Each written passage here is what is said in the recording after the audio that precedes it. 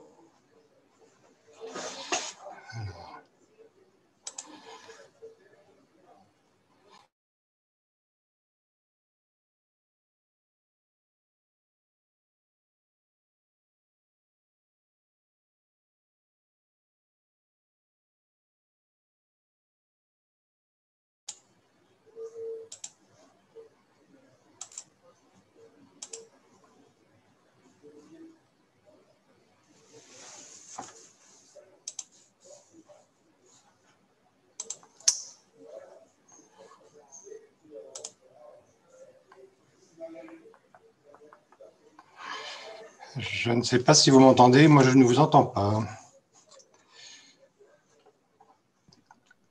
je vous Bonjour entends, Bruno, on t'entend Ah, Bonjour ça à y est, tous. ça y est, c'est arrivé, c'est bon. Vous m'entendez? Oui? Oui. D'accord, bon, bah, c'est bon alors. Ok, merci.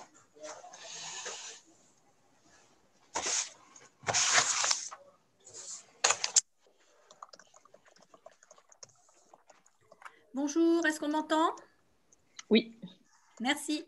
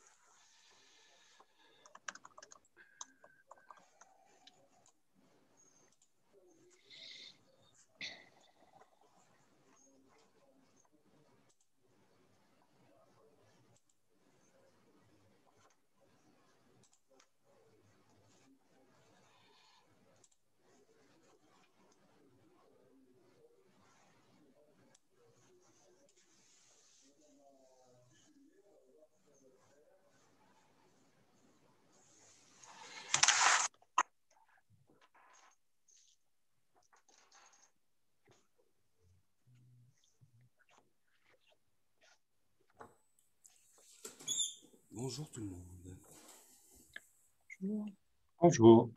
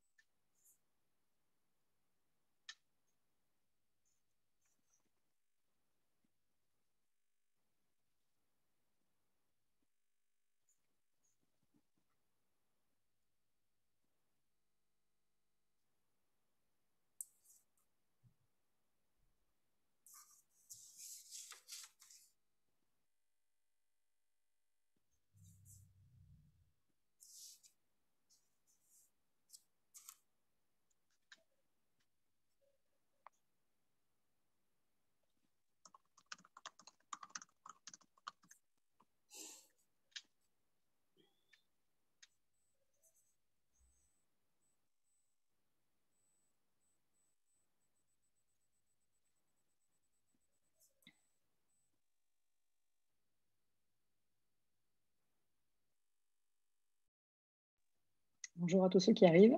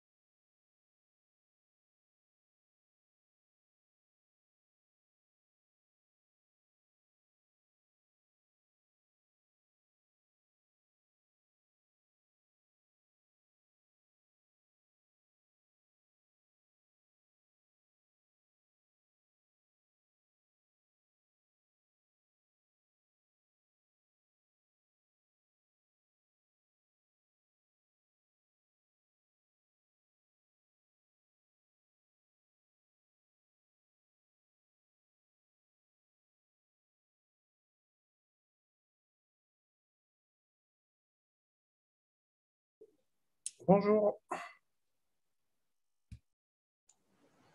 Bonjour. Bonjour. Bonjour. Bonjour. Bonjour.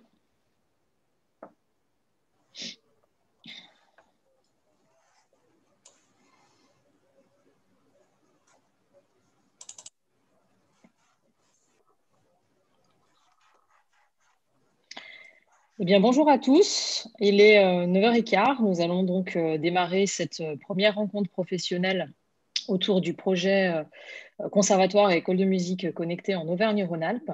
Donc, je vous propose pour commencer de faire un petit tour de table rapide pour que chacun puisse se présenter et dire quelle structure ou quelle, collectivité ou quelle entité il représente.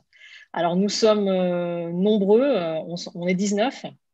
Pour éviter que cela déborde trop et que ce soit plus simple, je vous propose que bah, nous fonctionnions peut-être par département et que chacun prenne la parole succinctement, puisque nous aurons ensuite euh, l'occasion d'avoir euh, différents euh, temps d'échange. Alors, je vous propose de commencer eh bien par euh, peut-être le département de la, Drôme et que les personnes qui sont euh, issues de ce département puissent se présenter.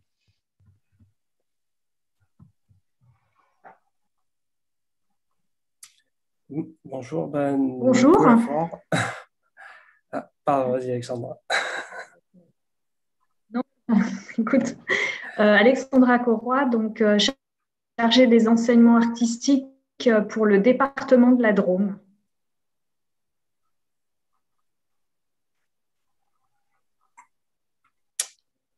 Euh, Nicolas Fort, je suis euh, professeur à l'école de musique de Livron-Loriol. Je crois que nous avons également le KEM de Dieu le Fit, qui est euh, représenté par Christophe Hamel, qui a l'air d'être euh, un peu occupé. Et je crois que pour la Drôme, nous aurons fait le tour. Je Oui, vous propose euh, de passer. bon- bonjour, j'étais avec euh, Caroline qui, a- qui n'arrive pas à se connecter. Alors on lui demande le code secret. Ah, il n'y a pas de code secret.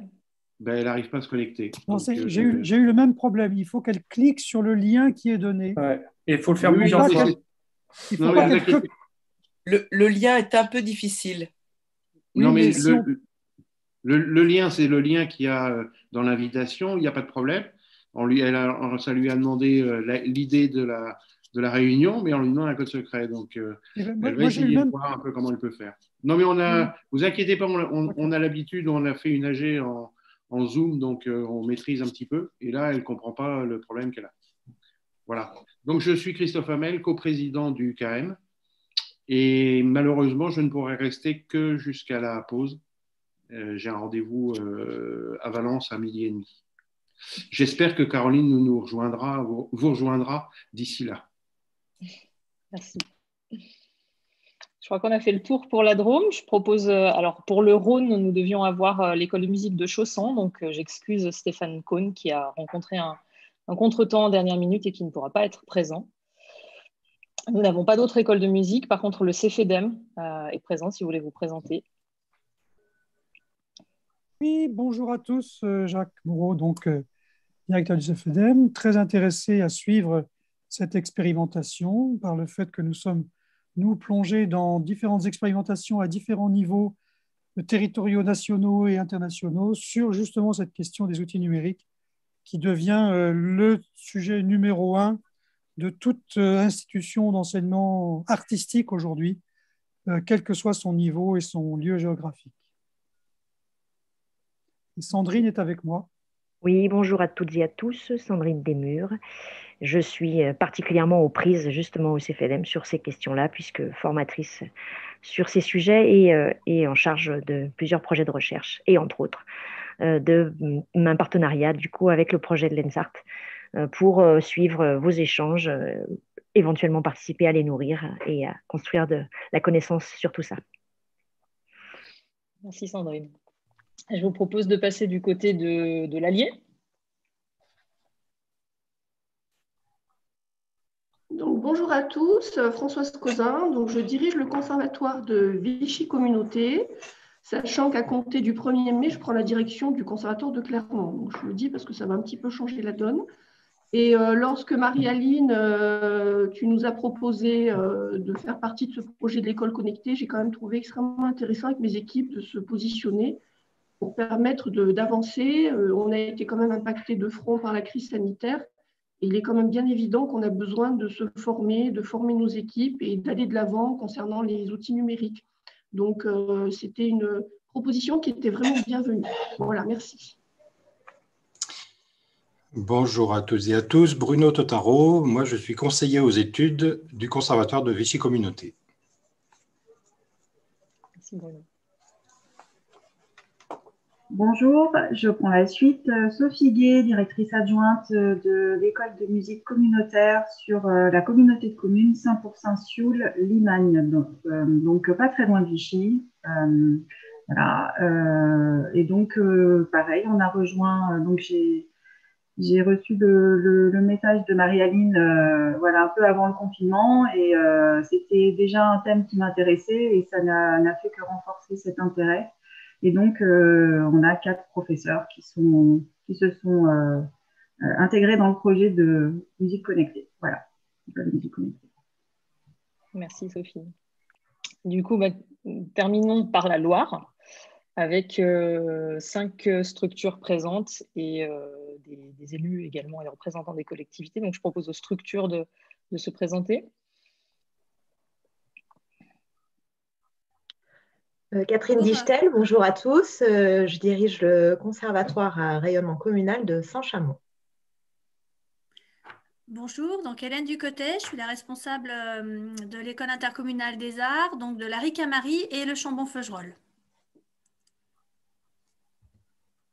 Euh, Marie-Christine Larue, euh, je suis doublement concernée par le projet puisqu'enseignante à l'EIA sous la direction d'Hélène. Et puis, je représente également Cap Musique, qui est une structure euh, qui est associative et soutenue par les communes de Sorbier de la Talaudière et École Relais du département de la Loire.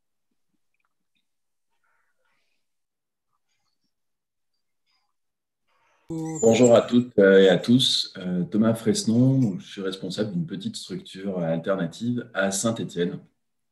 Je suis content de rejoindre les institutions et, vos grandes structures. Bonjour, je suis euh, Antonino Rena, je suis directeur de l'école de musique et des arts du spectacle vivant à Lorette et professeur de batterie aussi. Je suis aussi au conservatoire euh, de Rive de Gier où je suis professeur de batterie également et responsable du département musique actuelle et aussi euh, professeur de batterie à l'école intercommunale des arts, Larry Camari, de Chambon-Feugerolles.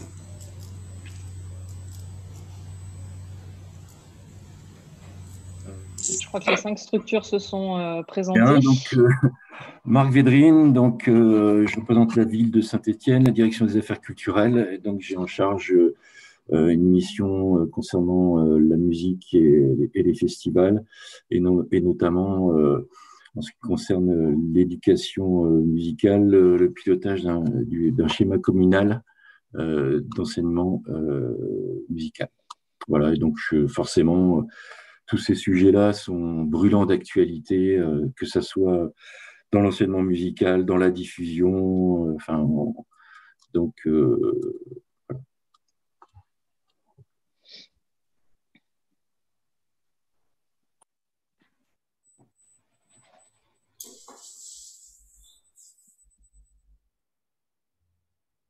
Personne d'autre prend la parole, voilà, moi je suis Marie-Pascale Dumas, je suis l'adjointe euh, à la culture de la commune de la Ricamarie. Et donc, j'ai sur mon écran Hélène Ducotet, entre autres, et puis euh, d'autres personnes qui font partie de notre structure. Euh, je vais aussi m'excuser de devoir vous laisser à la pause parce que j'ai un autre engagement ensuite.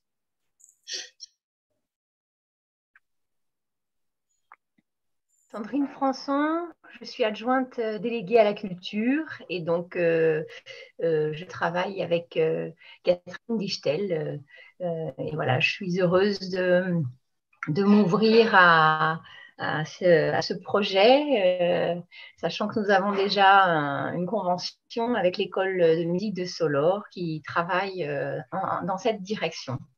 Donc voilà, je suis ravie de, de, participer à, ce temps de travail autour de, ce thème. Merci beaucoup. Alors, est aussi euh, présent euh, Isabelle Combourieux qui représente euh, la DRAC Auvergne-Rhône-Alpes. Isabelle, peut-être vous voulez dire quelques mots? Oui, alors déjà, je tiens à m'excuser parce que j'ai une connexion très très faible malgré la fibre. Donc, bon, c'est presque de l'humour quand on fait une table ronde sur numérique, mais c'est comme ça. je suis présente à la fois au même titre que tout le monde pour écouter, pour voir un tout petit peu quelles sont les, problématiques des uns et des autres. Je suis ravie de voir qu'il y a beaucoup, beaucoup de gens qui sont quand même autour de cette table. Euh, la Loire, qui est parfaitement représentée, hein, c'est tout à fait notable. Euh, j'ai rencontré en fait depuis trois ans euh, Marie-Aline qui est venue me voir. Et c'est vrai que comme le disait le directeur du CFEDEM, c'est aujourd'hui un des sujets numéro un. Il se trouve que la crise sanitaire a évidemment accéléré cette prise de conscience, euh, mais pas seulement. Il y a aussi toute la question de la ruralité, euh, de, l'éloignement des structures d'enseignement euh, des populations, ce qui fait qu'aujourd'hui, on est autour de cette table pour réfléchir, à partir d'abord d'une première expérience qui est celle de Marie-Aline, dont je pense qu'elle va, elle va nous, faire une petite synthèse. Et puis ensuite, voir comment cette expérience pourrait être euh, recapitalisée euh, pour les difficultés des uns et des autres. Et donc, euh, je pense que ce moment est particulièrement intéressant. Je ne suis pas sûre qu'en fin de matinée, on est totalement épuisé euh, la question, mais je pense que c'est surtout le premier moment d'une réflexion euh, que je souhaite qu'on poursuive, euh, et si possible avec le même groupe sur l'année.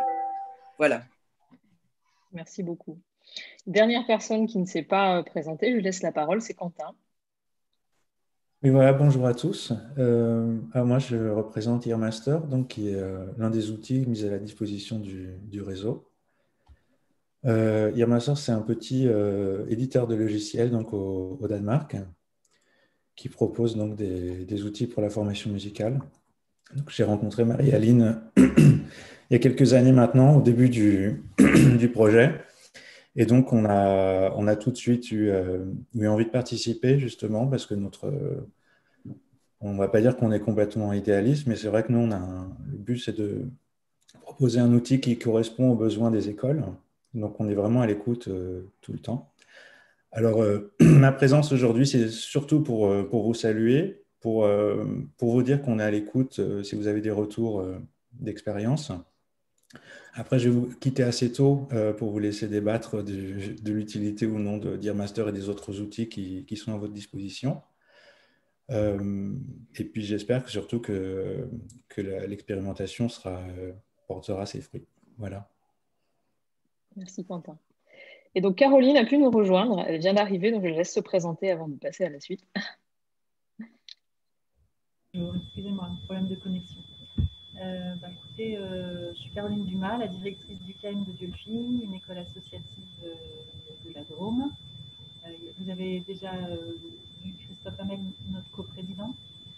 Voilà, donc nous avons trois professeurs impliqués sur l'expérimentation, sur Trap et Irmaster dire d'autres choses, euh, Marie-Aline? C'était juste une euh, brève présentation. Merci Caroline.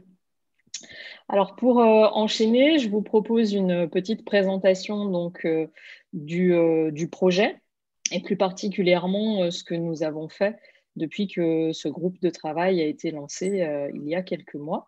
Donc je vais partager mon écran et voilà, faire un, un petit résumé de, tout, de tout ce que nous avons tout ce que nous avons fait, de d'où vient ce, projet euh, et ce que, ce, que ça, ce que ça implique? Alors, donc, je vais vous devez ma présentation euh, normalement. je crois que c'est bon. Donc moi, je vais me présenter, euh, même si la plupart d'entre vous euh, me connaissent. Donc je suis la directrice de l'école de musique de Solor à Saint-Étienne, qui est une structure euh, associative qui regroupe une dizaine d'enseignants et 150 élèves en moyenne. je dirige cette école depuis 2013 et je suis également enseignante en guitare classique, électrique, folk, etc. Je me suis intéressée à la question du numérique. C'est en fait un sujet qui m'a toujours, moi, intéressée sur plein de, plein de plans, que ce soit pour la musique, mais que ce soit à d'autres niveaux, euh, par exemple pour les, arts graphiques, les jeux vidéo, la, vidéo, etc. Et il y a cinq ans maintenant, j'ai eu l'occasion de mener des recherches sur ce sujet-là, donc qui sont publiées aux éditions L'Armatan sous le titre Révolution numérique et enseignement spécialisé de la musique, quel impact sur les pratiques professionnelles?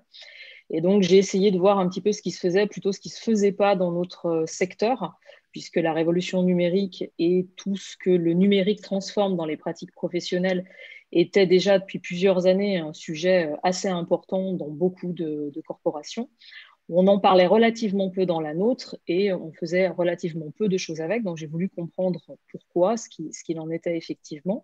Je me suis intéressée également à tout le secteur du e-learning. Et puis dans un troisième temps, je me suis positionnée en réfléchissant à qu'est-ce que je pourrais faire avec le numérique euh, au sein d'une structure X ou Y pour essayer d'utiliser le numérique en travaillant autrement que simplement substituer euh, des outils, des, outils numériques à des outils qui n'étaient pas à la base. Donc j'ai imaginé ce que j'ai appelé l'école de musique connectée, qui est un modèle euh, d'enseignement, d'apprentissage mixte, c'est-à-dire des temps de présentiel au sein de la structure et puis des temps en ligne. Donc, j'ai décliné depuis septembre 2017 euh, ce projet en un projet un petit peu plus large au sein de l'école de musique de Solor. Et euh, la question du réseau était donc un des, axes euh, de, ce projet. Donc, trois axes. Le premier, c'était le volet pédagogique, effectivement, d'essayer de voir comment on peut utiliser ces outils dans un cadre pédagogique, qu'est-ce que ça produit, comment euh, les enseignants s'en saisissent. Et au sein de l'école, on a eu une première année d'expérimentation de 2017 à 2018 où on a fait une expérimentation justement sur l'apprentissage mixte et on a euh, testé un certain nombre d'outils pour la formation musicale et pour la mise en place de, projets.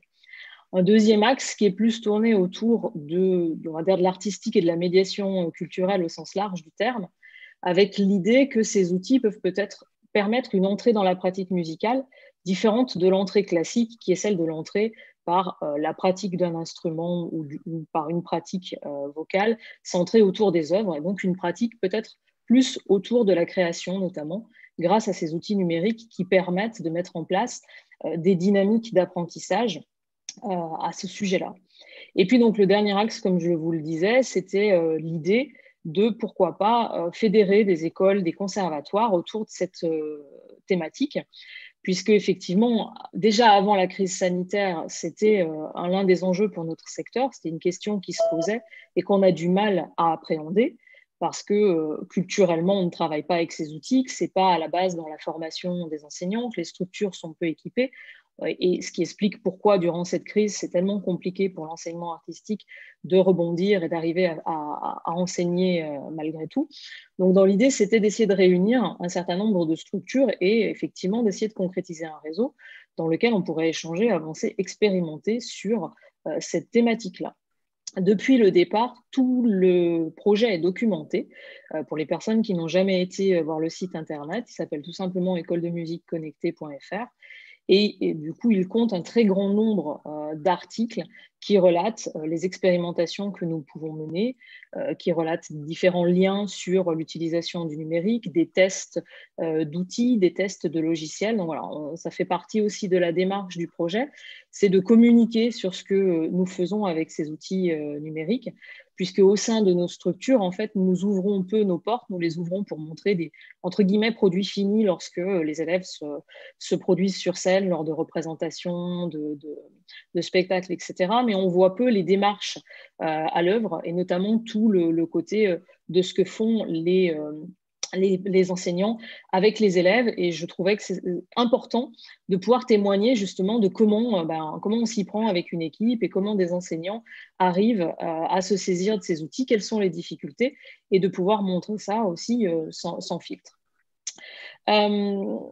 du coup, quelles sont les étapes qui ont été mises en place dans ce projet? Donc, comme je vous le disais, de 2017 à 2018, nous avons mené un certain nombre d'expérimentations que nous avons analysées au moyen d'outils que nous avons mis en place. Et à la lueur de cette analyse, nous avons concrétisé certaines choses au sein de l'école. Donc, nous avons ouvert notre parcours en apprentissage mixte qui s'appelle Cyber Orchestra et qui, qui, est ouvert depuis 2018-2019, donc avec une partie présentielle et des éléments en ligne pour les élèves. C'est un modèle collectif, collaboratif, ce n'est pas du tout un modèle euh, individuel qu'on aurait euh, modifié pour faire rentrer du numérique. On est vraiment sur une soirée où euh, c'est organisé en apprentissage mixte. Nous avons également ouvert la fabrique musicale, qui est une, année de découverte pour les enfants en CP. Alors, découverte au sens large du terme, puisqu'ils appréhendent différentes présentations d'instruments, ils travaillent sur un spectacle et ils s'initient déjà au code musical et à la production musicale grâce à ces outils numériques.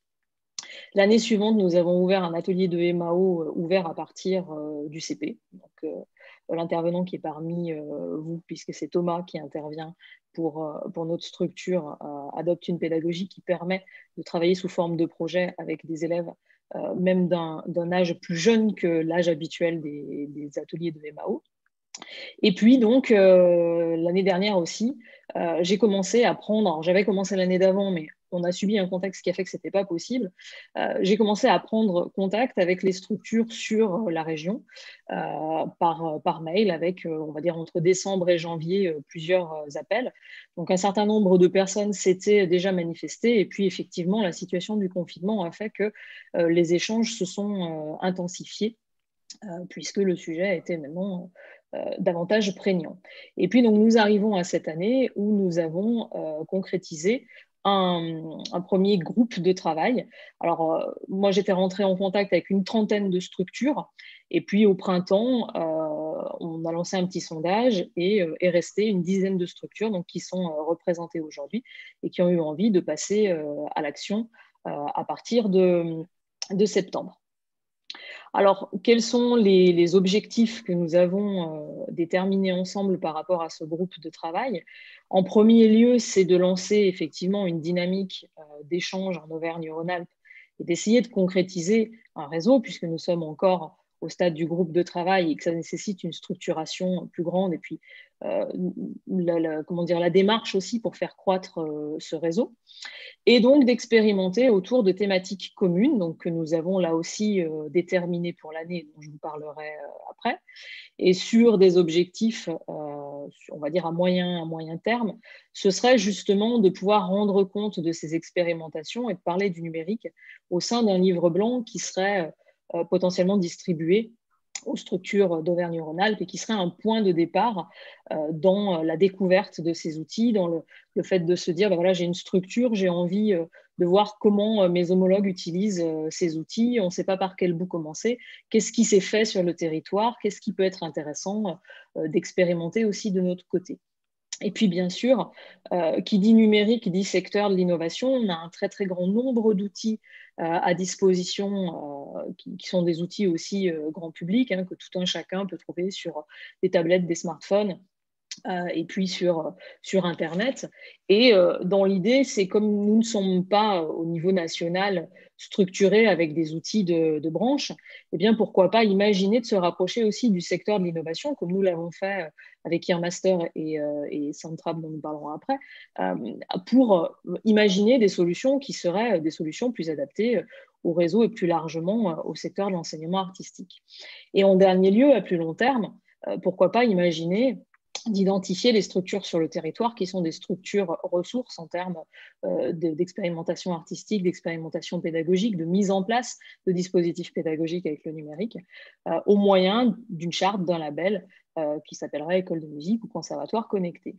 Donc là, de la même manière que nous avons procédé pour documenter le projet de l'école de musique connectée, eh bien, euh, il y a un site du projet donc, qui s'affiche en, bas, euh, qui est ensart-num-aura.fr, sur lequel nous documentons, nous avons commencé il y a quelques mois à documenter euh, justement la démarche de, ce groupe de travail pour voir un petit peu l'évolution et montrer dans la mesure du possible ce qu'il se passe et comment les uns et les autres appréhendent cette question.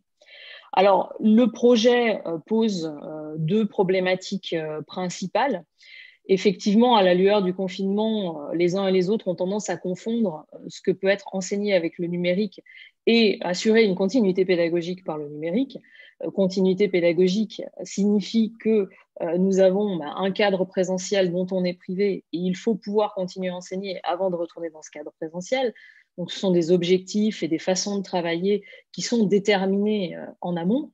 Alors que enseigner avec le numérique, c'est un choix qui est plein et entier et qui est cohérent et pertinent, et c'est absolument pas un choix par défaut.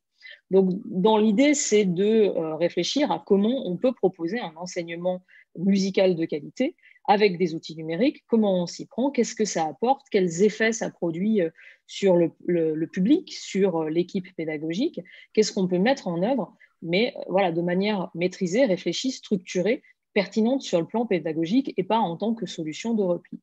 Et puis la deuxième euh, problématique qui est aussi en filigrane, euh, c'est sur un territoire comme le nôtre, qui est un territoire avec des géographies diverses et variées et des problématiques d'accès à certains niveaux à l'enseignement artistique, eh bien, c'est de se poser la question euh, comment le numérique peut potentiellement permettre de répondre à une meilleure structuration de l'accès à l'enseignement artistique sur le territoire d'Auvergne-Rhône-Alpes.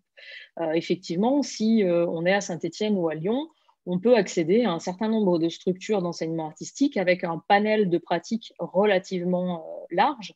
Si on est dans le Cantal ou dans le Puy-de-Dôme ou dans la Savoie, on peut rencontrer des problématiques plus complexes de développement de, de pratique parce qu'on bah, ne peut pas forcément faire venir des intervenants ou alors on ne peut pas euh, développer une offre qui rayonne suffisamment sur le territoire à cause des problématiques de déplacement ou autre. Et le numérique peut être euh, également une manière de réfléchir à comment on va développer une offre euh, plus large sur le, territoire une offre plus accessible. Alors, donc les structures, vous vous êtes présentées, mais pour montrer ce que ça représente euh, sur donc, notre territoire où elles sont situées. Je vous ai fait une euh, petite carte. Voilà, donc globalement, nous sommes ici avec les deux structures qui sont donc dans la Drôme, le KEM de Dieu-le-Fils et puis l'école de musique intercommunale de Livron-Loriol-sur-Drôme, euh, l'école de musique de Chausson dans le Rhône, les cinq structures dans la Loire donc, qui sont plutôt concentrées effectivement sur le sud de la Loire en périphérie de, Saint-Étienne, et puis, euh, dans l'Allier, euh, l'école de musique de 5% sur Sioule et le conservatoire euh, de Vichy. Alors, dans le premier appel, les, premiers temps d'échange que j'avais eu avec une trentaine de structures, il y avait des structures de la Haute-Loire, il y avait des structures de la Savoie, c'était un petit peu plus large. Après, tout le monde ne s'est pas nécessairement senti de, de, rentrer dans cette démarche tout de suite. Donc voilà ce que ça représente sur notre territoire avec du coup bah, des structures qui avant euh, ne communiquaient pas, et en tout cas pas ou, peu. Euh, voilà, et c'est intéressant de voir qu'on a un petit peu des, extrémités aussi au niveau du, département. Euh, alors, quelles expérimentations ces structures mènent-elles cette année? Donc, on avait choisi deux axes. Le premier, c'est donc la question de l'apprentissage mixte, mettre en place un, des temps de travail présentiels avec les élèves et faire le lien avec euh, la maison, avec des temps en ligne sous forme de euh, différentes ressources euh, que, tout un chacun est, libre de mettre en place. Et puis, expérimenter des outils numériques plus spécifiques sur le, plan de la formation musicale, de la création et puis de l'évaluation. Alors pour ce faire, on a un certain nombre d'outils que vous voyez ici. On a Padlet, pour lesquels les structures avaient déjà un peu expérimenté pendant le premier confinement, qui est un mur collaboratif sur lequel on peut organiser différents contenus pédagogiques et le partager assez facilement avec euh, les élèves. On a euh, sur le côté de l'évaluation des petites applications très simples à utiliser qui sont Kahoot pour créer des quiz euh, interactifs et Learning Apps, des petites activités en ligne personnalisables. Et puis, donc, Earmaster, euh, dont Quentin vous a parlé, qui est un outil qui permet de travailler euh, l'oreille euh, au sens large du terme et qui est utilisé en formation musicale. Et puis Soundtrap, qui est un studio virtuel collaboratif qui permet de réunir un certain nombre d'élèves. C'est quasiment illimité. Après, si les projets sont trop lourds, c'est plus, plus compliqué, mais qui permet de réunir de façon synchrone ou asynchrone un ensemble d'élèves sur un même projet en ligne. Donc, c'est un studio qui est sous, sous forme d'application web et qui permet de faire des enregistrements, qui permet de faire la création avec les différents outils qu'on peut rencontrer dans un studio classique. L'intérêt étant de pouvoir, justement, quand on est soit coupé de son cadre présentiel, soit qu'on veut faire le lien avec la maison, de pouvoir faire travailler les élèves à distance très facilement. Et Air Master a la même, entre guillemets, fonctionnalité, puisqu'il y a un mode professeur et un mode élève. Et au-delà de tout le contenu d'exercices que possède l'outil, eh bien, le professeur peut personnaliser euh, des exercices, des éléments à envoyer aux élèves et voir si effectivement les élèves se sont connectés, comment ils réussissent leurs exercices, et après réadapter le contenu de son cours dans le cadre euh, présentiel. Au niveau euh, des partenaires, eh bien, nous avons la DRAC Auvergne-Rhône-Alpes qui soutient le projet depuis 2017 et 2018, Master et Soundtrap également euh, depuis la, même période. Et puis le CFDM Auvergne-Rhône-Alpes qui est rentré en partenariat cette année dans le cadre du euh, volet réseau pour effectivement, comme Sandrine l'a dit, observer euh, la démarche, pouvoir construire de la connaissance à ce sujet-là. Et, croiser les données avec l'appel à projet sur lequel il travaille sur ces thématiques-là. Alors, euh, qu'a fait le, groupe de travail depuis euh, septembre? Eh bien, Il a déjà beaucoup travaillé, euh, puisque nous avons eu plusieurs temps d'échange en visioconférence, donc plusieurs en septembre et puis en décembre et en janvier.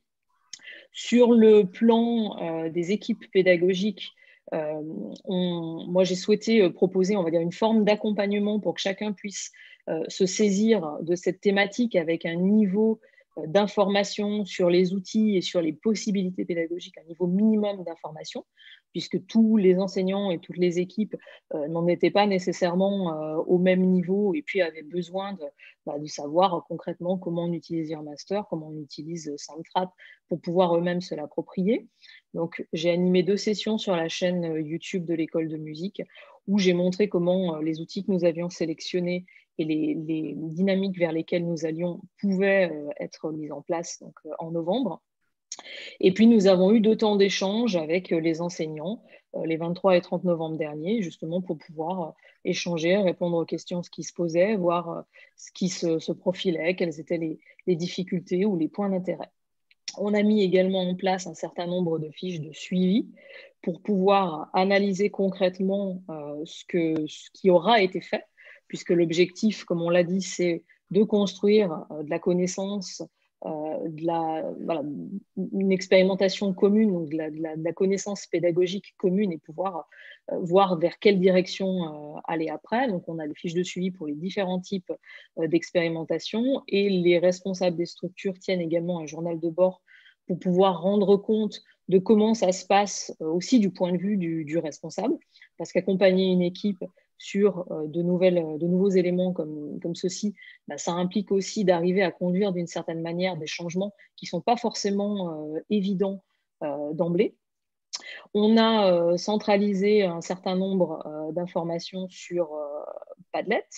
Donc, je peux vous le montrer. Il est ici.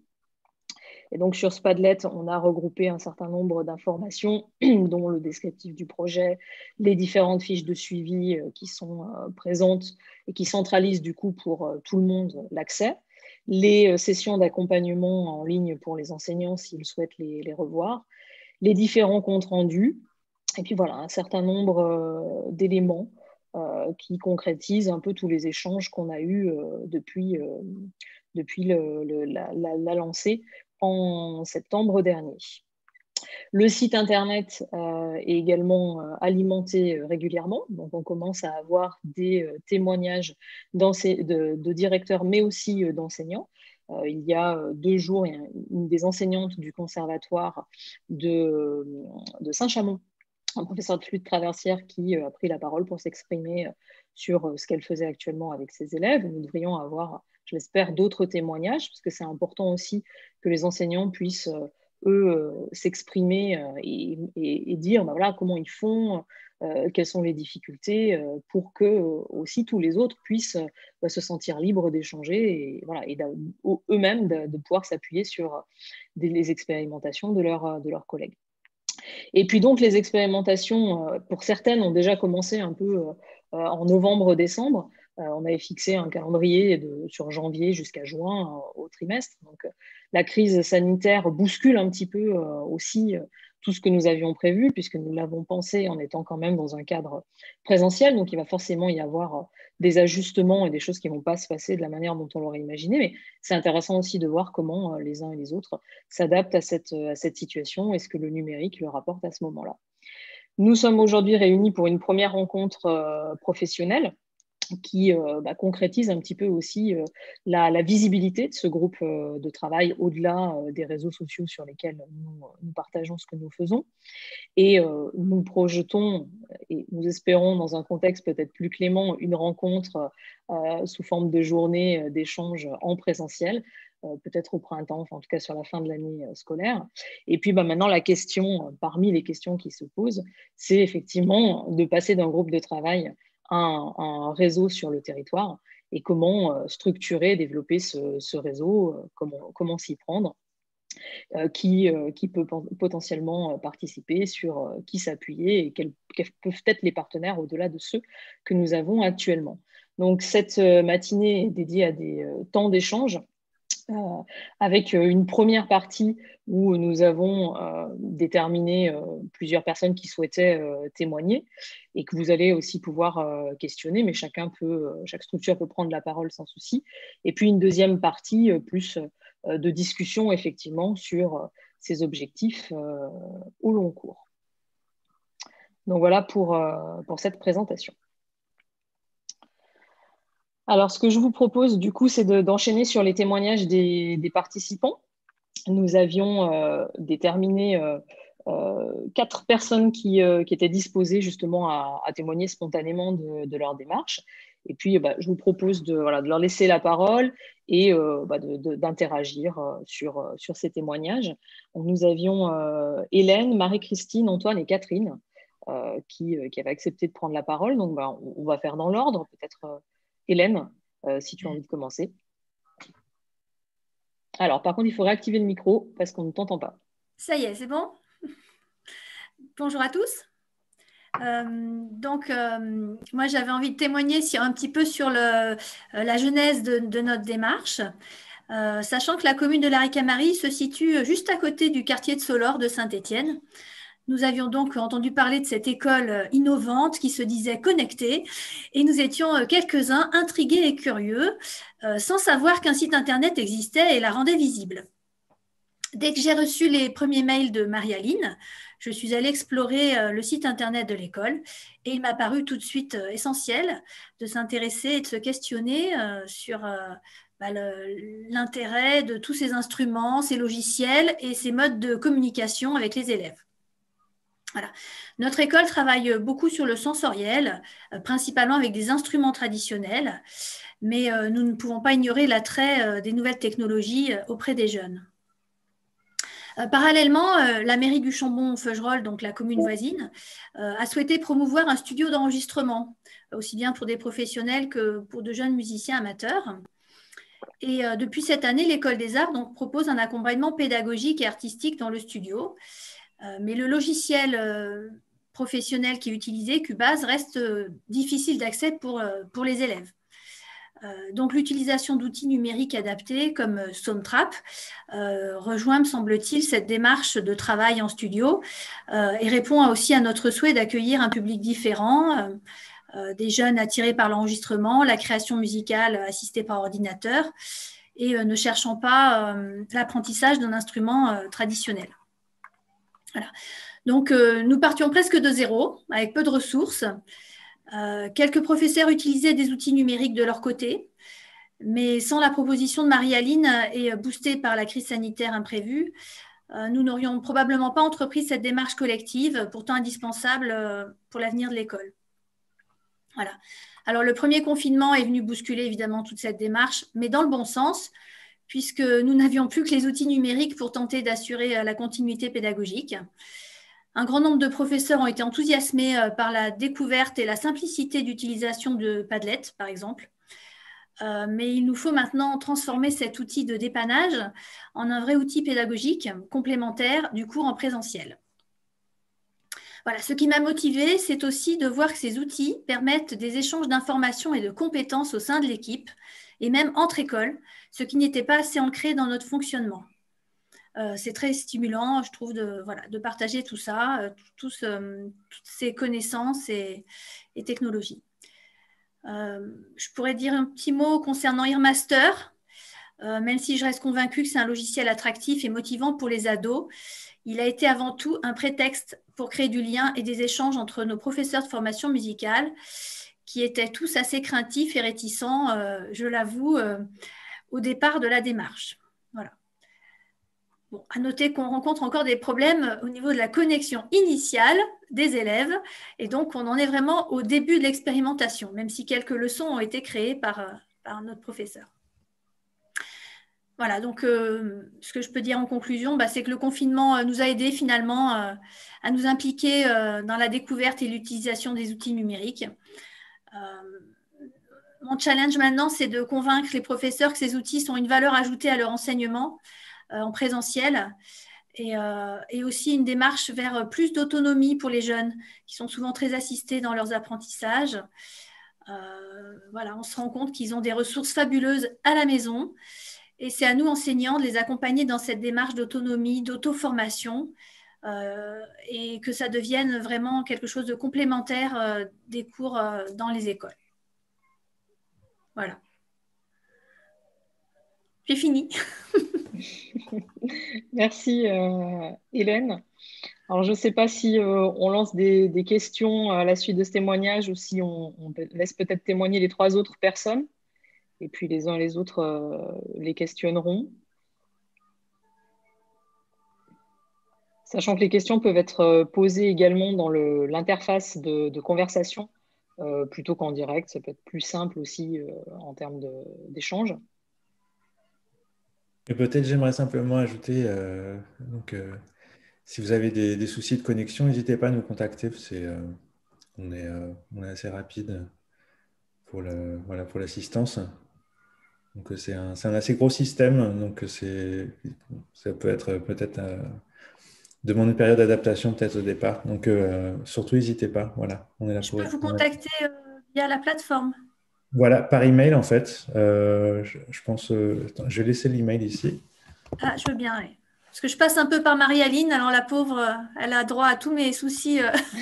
Ah non, mais surtout Marie-Aline, n'hésite pas à envoyer toutes les demandes vers nous c'est fait pour. Parce que pour nous, euh, c'est aussi un moyen aussi de, déterminer euh, où il y a euh, des, lacunes dans le logiciel, peut-être, ou des problèmes, ou des, endroits améliorés. Donc voilà. Je vous ai laissé l'adresse email à contacter en cas de souci.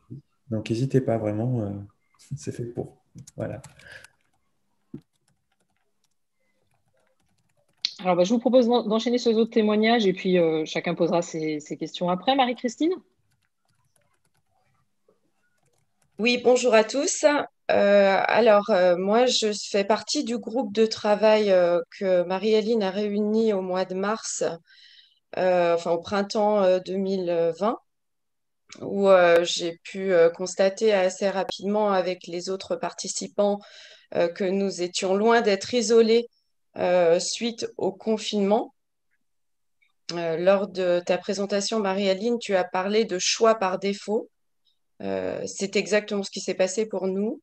C'est-à-dire que les outils euh, finalement qui ont été proposés, les outils numériques ont, eu, ont été des choix par défaut, essentiellement Padlet pour nous, euh, pour l'école Cap Musique.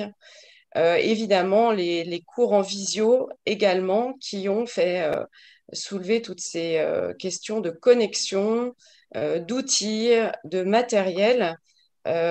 et pour les élèves, j'insiste, et pour les enseignants qui étaient euh, également livrés eux-mêmes avec leur propre matériel.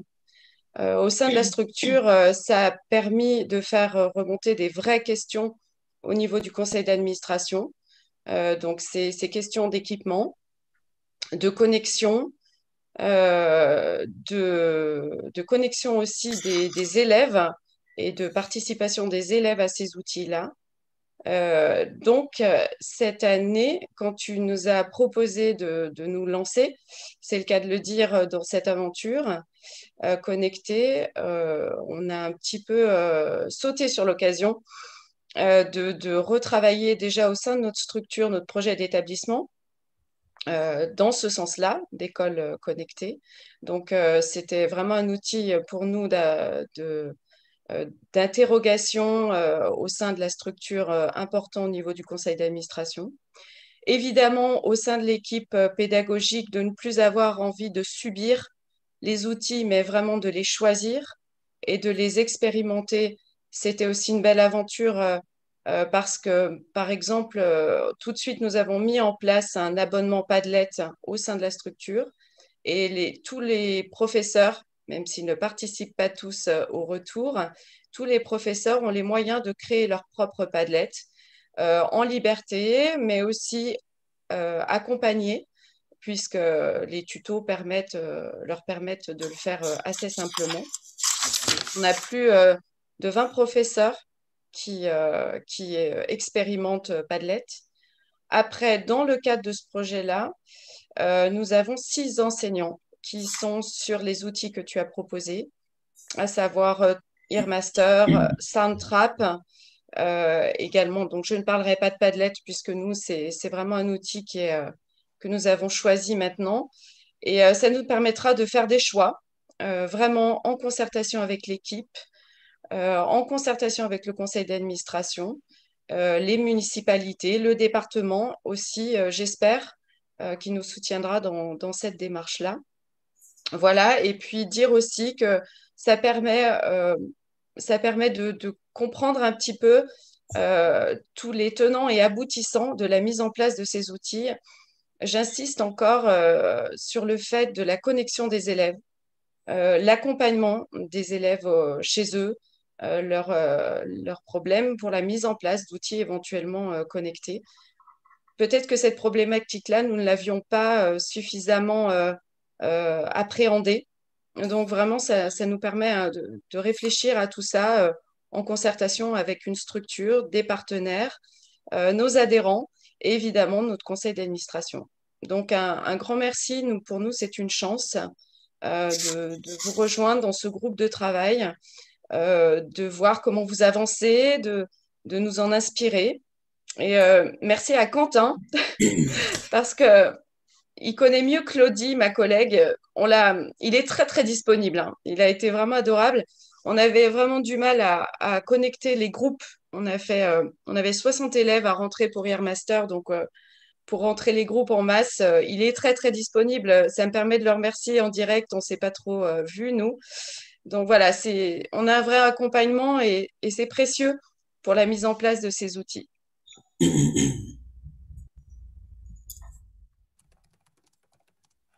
Merci Marie-Christine. Euh, je laisse la parole à, Antoine. Bonjour tout le monde. Donc, euh, euh, l'école de musique, donc Emma Lorette est une école associative qui existe donc depuis 2013 et a la vocation à, enseigner les musiques actuelles. Donc c'est vrai que quand Marie-Aline nous a proposé ce, ce, projet d'école connectée, c'était tout à fait naturel de, de pouvoir participer à des projets comme ça, puisque on, on est amené à travailler justement avec, avec pas mal d'outils numériques, que ce soit pour l'enregistrement, et puis justement, par la, par la force des choses, euh, nous on peut travailler avec des outils euh, euh pour euh, l'enseignement à distance. Et effectivement, euh, certains professeurs de, de l'EMAS avaient déjà des, des padlets, enfin des, des comptes padlets individuels. On est resté sur l'individuel d'ailleurs, on n'a pas créé de, de padlets communs. Et parce qu'on on n'est pas nombreux dans l'école, mais euh, donc du coup, ça a permis à chaque prof de un petit peu de, de travailler euh, comme ils ont l'habitude de faire, euh, puisqu'ils travaillent dans plusieurs structures. Nous, à l'école, donc, on, grâce à justement à ce, à, à ces, ces outils que nous a présenté Marie-Aline. Nous, on a retenu surtout Soundtrap par rapport à justement aux, ateliers musique actuels. Donc, puisque tous les cours d'instruments étant faits en visio, c'était assez pratique malgré tout, même si on avait pas mal de difficultés à se connecter, à, obtenir un, son correct, etc. Donc c'était quand même, enfin c'est toujours pas facile d'ailleurs de continuer comme ça, mais on y arrive. Euh, mais pour, ce qui était des ateliers de musique actuelle, là c'était vraiment un, souci, c'est que on n'avait pas la possibilité de pouvoir euh, tous se connecter pour pouvoir jouer ensemble, même si j'ai encore découvert euh, récemment un, un, système qui peut, qui pourrait éventuellement le faire. Mais euh, Soundtrap est justement une, possibilité euh, pour, pour les ateliers de continuer à travailler sur les projets qu'on a mis en place. C'est vrai que la première, euh, enfin, le premier confinement, ça a été un petit peu difficile à, à lancer, euh, à lancer tout ça, mais à partir de cette nouvelle rentrée, on a, on a réussi à, à, créer quelques projets. Euh, ce qui fait que maintenant on est arrivé euh, par, par, rapport à, à l'EMAS avec l'atelier adulte où on, on, en est au troisième projet d'enregistrement. Donc ça commence à prendre euh, vraiment, ils sont très intéressés. Je vois que d'ailleurs à chaque fois qu'il y a un élève qui, qui participe, euh, forcément il y, a, il y a des mails qui, euh, qui circulent, comme quoi, enfin, on est alerté justement par mail comme quoi euh, un tel ou un tel s'est connecté et a, et a, fait des modifications sur les projets. Et quand on est en cours, on arrive maintenant à, réellement à travailler sur le logiciel pour tout ce qui est euh, editing, euh, euh, sur le travail aussi des automations, etc. Donc, ce qui fait que vraiment, ça, ça permet à ces, à ces élèves de bah, pas rester dans leur coin et de continuer à jouer, d'avoir des contacts avec le reste des, des élèves et, et de créer ainsi des, des nouveaux projets. Donc, euh, pour ce qui est du, du reste des, euh, des outils, euh, en master pour l'instant, c'est pas encore mis en place, mais euh, je pense que ça va, ça va pouvoir se faire. Là, pour l'instant, le, prof continue de travailler puisqu'elle a sa, propre méthode, donc elle souhaite pour l'instant continuer à travailler avec le programme qu'elle a en place. Mais elle, ne, ferme pas les portes, au contraire, elle se dit que petit à petit, elle, elle y viendrait. Voilà, donc c'est surtout par rapport à, à Soundtrap, pour nous c'est très important, puisque grâce à ça, ça a aussi euh, euh, provoqué, on va dire, des, intérêts à, justement à l'enregistrement numérique. On a euh, on a organisé donc le week-end dernier un, stage de formation donc avec le conseil départemental qui, a financé ce, cette formation Cubase justement pour donner la possibilité aux profs et aux élèves du département de découvrir euh, ou de s'améliorer sur ce logiciel-là. Ce qui fait que des élèves euh, qui ont l'habitude de travailler sur Soundtrap sont venus à travailler maintenant euh, avec, une licence qui avait été offerte par, par Stenberg et qui a permis justement de, faire le lien avec ces deux logiciels-là. Soundtrap est très simple d'utilisation, même si c'est quand même pas évident dans un premier temps, parce que quand on n'a jamais touché à un outil comme celui-ci, bah, tout paraît compliqué, euh, jusqu'à même euh, le fait de pouvoir insérer, ou ne serait-ce que d'appuyer sur le bouton d'enregistrement, ça peut, c'est tout bête, mais des fois ça cause des problèmes. Et puis là maintenant, euh, ils arrivent à, créer eux-mêmes leur propre projet en, collaborant avec, d'autres élèves d'autres structures. Je prends le cas justement avec euh, le conservatoire de Rive de J, puisque je travaille dans les deux structures où euh, les ateliers font, euh, font des projets de leur côté, et puis maintenant ils arrivent à, à travailler ensemble, à se connecter ensemble et à faire des projets ensemble. Donc ça c'est très intéressant, et justement comme on disait aussi avec Marie-Aline, c'est d'arriver peut-être à, à, à, collaborer avec plusieurs écoles du département ou de la région. Voilà donc pour ce qui est de, de notre expérience de, l'école connectée. Et bien sûr, bah, je remercie Marie-Aline de nous avoir connectés justement par rapport à, tout ça. Merci à toi, Antoine. Je laisse la parole à Catherine. Oui, merci. Euh, donc je, dirige le, conservatoire à rayonnement communal de Saint-Chamond qui représente 400 euh, élèves euh, environ et 25 enseignants. Donc on se consacre au domaine de la musique uniquement, hein, pas de théâtre ou de danse de façon continue. Sur l'équipe, donc nous, on a neuf enseignants qui se sont portés volontaires pour cette expérimentation. et ce qui est intéressant, c'est que ce sont des enseignants au profil très, très divers. On a des, des enseignants qui sont déjà très, très férus d'outils numériques et très performants, donc qui ont déjà fait pas mal d'innovations de leur côté.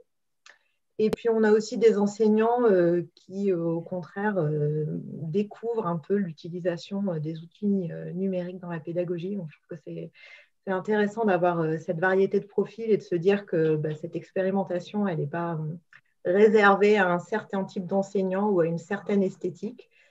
sachant qu'on voilà, on a aussi une vraie pluralité d'esthétiques qui est représentée aussi bien euh, des enseignants dans le domaine des musiques actuelles, du jazz, que des enseignants dans des disciplines beaucoup plus euh, traditionnelles, classiques, et donc euh, qui, dans leur, on va dire, dans leur culture, sont moins habitués à utiliser les outils numériques.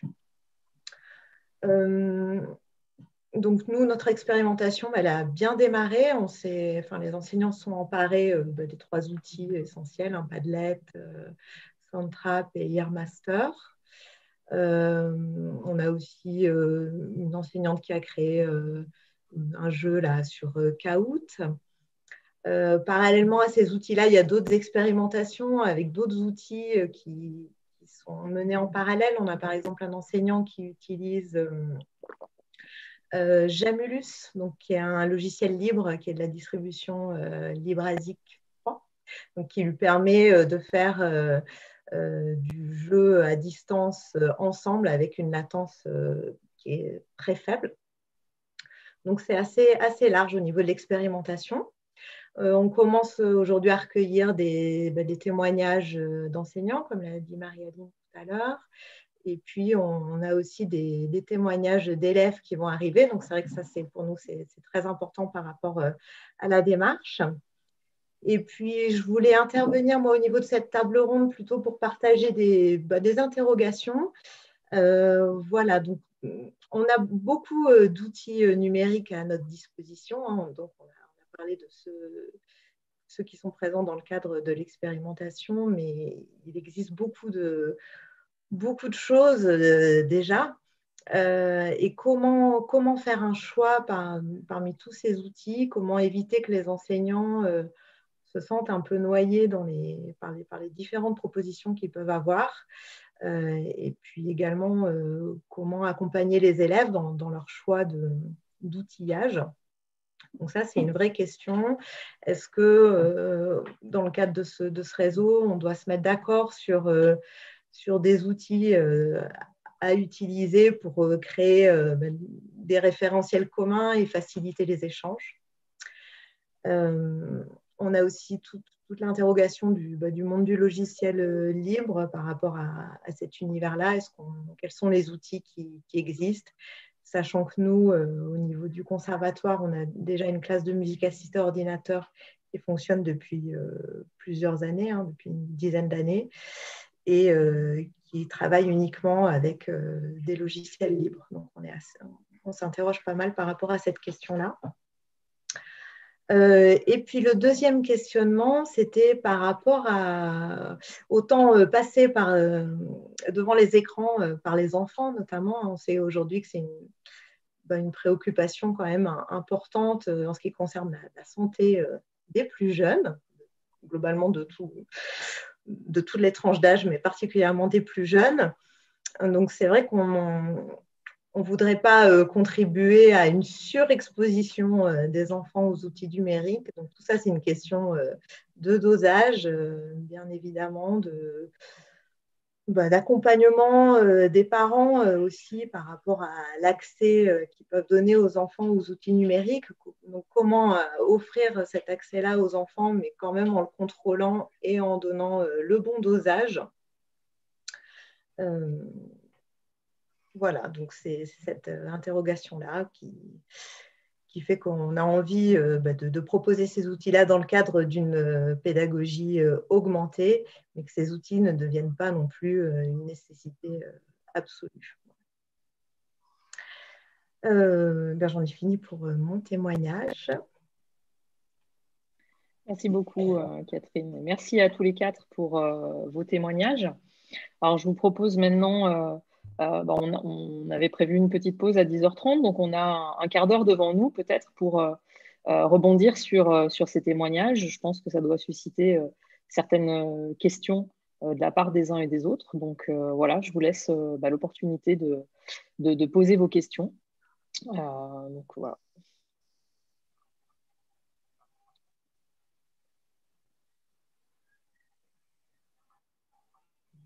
Françoise? Alors moi, ce ne sera pas forcément des questions, mais je vais des témoignages. D'abord, je remercie les, intervenants et intervenantes. Hein. C'est toujours intéressant d'avoir les témoignages de ce qui se passe ailleurs. Ça permet de nous éclairer. Moi, en fait, je ne voudrais pas forcément poser de questions, mais je voudrais juste reprendre un peu les enjeux euh, concernant les conservatoires. Euh, le premier enjeu pour moi qui est très important, et je vois par rapport à mon équipe, et si Bruno, je ne sais pas s'il est là, il veut rebondir parce que c'est lui qui a géré, qui a fait le relais auprès des équipes, il ne faudra pas qu'il hésite. Pour moi, le, plus important, déjà, c'est former les enseignants à ces nouvelles pratiques. Ça, c'est quand même quelque chose d'extrêmement important parce que ça nous est tombé dessus euh, incidemment. Euh, on avait commencé, nous, dans le cadre de notre projet d'établissement, à établir un listing de, de, travail sur le numérique euh, et d'équipement de notre euh, conservatoire, mais on en est au balbutiement quelque part. Hein. Deuxièmement, voilà, c'est équiper les conservatoires des outils numériques nécessaires à l'enseignement. Je note quand même euh, globalement que les départements des musiques actuelles, et là je rejoins le témoignage d'Antoine, peut-être, non c'est Antoine, je sais plus, sont davantage armés. Euh, c'est probablement davantage dans leur culture et ces départements sont vraiment euh, en amont et entraînent en fait les départements, euh, les autres départements. clairement, nous, on a eu quand même de nombreux, alors on en est au balbutiement, hein, mais des gros gros soucis de connexion quand même, c'est quand même récurrent. Donc améliorer aussi l'enseignement artistique à travers les outils numériques et, développer ben, voilà, un partenariat avec les, personnes qui développent ces, logiciels pour euh, faire avancer un petit peu les problèmes et les outils connexion. Euh, avec un point très important, je dirais, pour la formation musicale, parce qu'à la limite, les instruments, on est en cours individuel, donc euh, au niveau de, l'interaction élève-prof, même si le son n'est pas exceptionnel, on y arrive. Je me pose beaucoup de questions concernant la formation musicale, parce que les cours en présentiel, très bien, mais les cours euh, par logiciel, c'est quand même compliqué. Du coup, ça, ça interroge et ça questionne euh, l'enseignement artistique et les modes d'enseignement et les nouvelles pédagogies par rapport à la formation musicale. C'est une vraie question, ça. D'ailleurs, j'ai demandé à Nicolas Bruno de nous rejoindre parce que je pense qu'il aurait pu. Euh, c'est mon directeur adjoint et en charge de la formation musicale. Je pense que là, vraiment, il y a des choses à faire. On ne peut plus enseigner la formation musicale à travers l'outil numérique tel qu'on peut le, concevoir en présentiel. À mon avis, il y a un gros travail là-dessus, d'autant si la situation doit perdurer. Quatrième point, ça a été évoqué par les témoins, accompagner les familles à l'utilisation des outils numériques. On a des familles qui sont euh, complètement armées pour ça, puis je laisserai peut-être Bruno témoigner sur les familles qui doivent accompagner à titre personnel qui ont des grosses, grosses difficultés. Euh, voire des familles qui n'ont pas du tout d'ordinateur. Ça, ça, existe encore, il hein, faut le savoir, on ne peut pas les laisser de côté, ces familles. Donc, euh, quid de ces familles? Comment les accompagner? Et le cinquième point qui est extrêmement positif, Marie-Aline, c'est faire réseau. Donc, vous l'avez fait. Et moi, je suis quand même surprise. J'aimerais bien que ce réseau soit développé. Et je souligne l'intérêt de la DRAC pour ce projet qui est non négligeable dans cette démarche. Et je pense qu'il faut il faut que ça se développe davantage. Hein. Moi, je sais que quand je serai à Clermont, clairement, je vais vous solliciter aussi à ce niveau-là, parce qu'on peut, on, est, on, a vraiment besoin de faire réseau, de s'apporter les uns les autres euh, et de développer, de, permettre aux personnes qui ont des outils, des, logiciels, de développer, d'aller plus loin encore. Au moins, on en est au début. C'est déjà très bien, mais on doit aller plus loin. Voilà, c'est simplement des remarques à mon niveau. Je, je, je suis euh, désolée, je vais prendre un tout petit peu la parole et je ne souhaite pas monopoliser, mais je voulais euh, faire apparaître un tout petit peu le point de vue de l'État, euh, dire d'abord deux choses. Effectivement, on soutient l'école connectée de Solor, mais notre projet de mise en réseau est soutenu cette année par une dotation émanant du contrat de filière qui est en fait un partenariat entre la région, l'État et le Centre national de la musique pour soutenir des choses innovantes. Et dans le cadre de, l'appel à projet qui nous intéresse, euh, ce projet de mise en réseau euh, était dans les expériences innovantes. Voilà. Donc tout ça pour dire que c'est soutenu à deux endroits. J'ai une première remarque à faire. Je suis quand même un tout petit peu déçue parce que je me rends compte qu'il euh, y a beaucoup de gens autour de cette table, mais c'est vrai que les grands territoires fragiles euh, de notre région sont finalement assez peu représentés. Euh, il n'y a pas le Cantal, on n'a pas la Haute-Loire. voilà, donc ça c'est une première remarque. Ça veut dire que ce réseau, il va falloir le travailler. Et là, Françoise, je vous rejoins. Hein, je pense qu'on est à l'ébauche de ce réseau. Hein, donc, euh, je pense qu'il va falloir inviter euh, un petit peu euh, ben, d'autres collègues et peut-être faudra-t-il considérer qu'il faudra imaginer des têtes de réseau, hein, des gens qui vont être un peu initiateurs, aller chercher de leur côté, hein, parce que c'est, je crois que beaucoup de gens n'ont pas encore pris la mesure à la fois du risque de se laisser agir par les technologies. Voilà, donc là, aujourd'hui, ce qui est très intéressant, c'est qu'on est dans une dimension euh, où, au lieu d'être agi par, euh, il y a une volonté de prendre en main euh, cette question-là, cette question-là qui nous est finalement imposée, hein, à la fois par l'économie et à la fois par la situation sanitaire. Et c'est une façon peut-être aussi de réfléchir à comment on va l'utiliser. Et là, effectivement, un certain nombre de questions sont quand même apparues.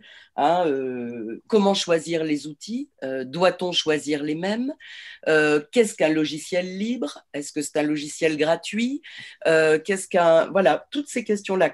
Quid du droit d'auteur aussi Donc ça, c'est l'aspect, j'allais dire proprement juridique. Il se trouve que je suis juriste du numérique. On a également d'autres questions et on en a très peu parlé dans les témoignages. C'est euh, est-ce que euh, cette modalité de l'enseignement s'applique-t-elle à toutes les disciplines? Hein? Françoise, vous avez effectivement posé la question de la formation musicale.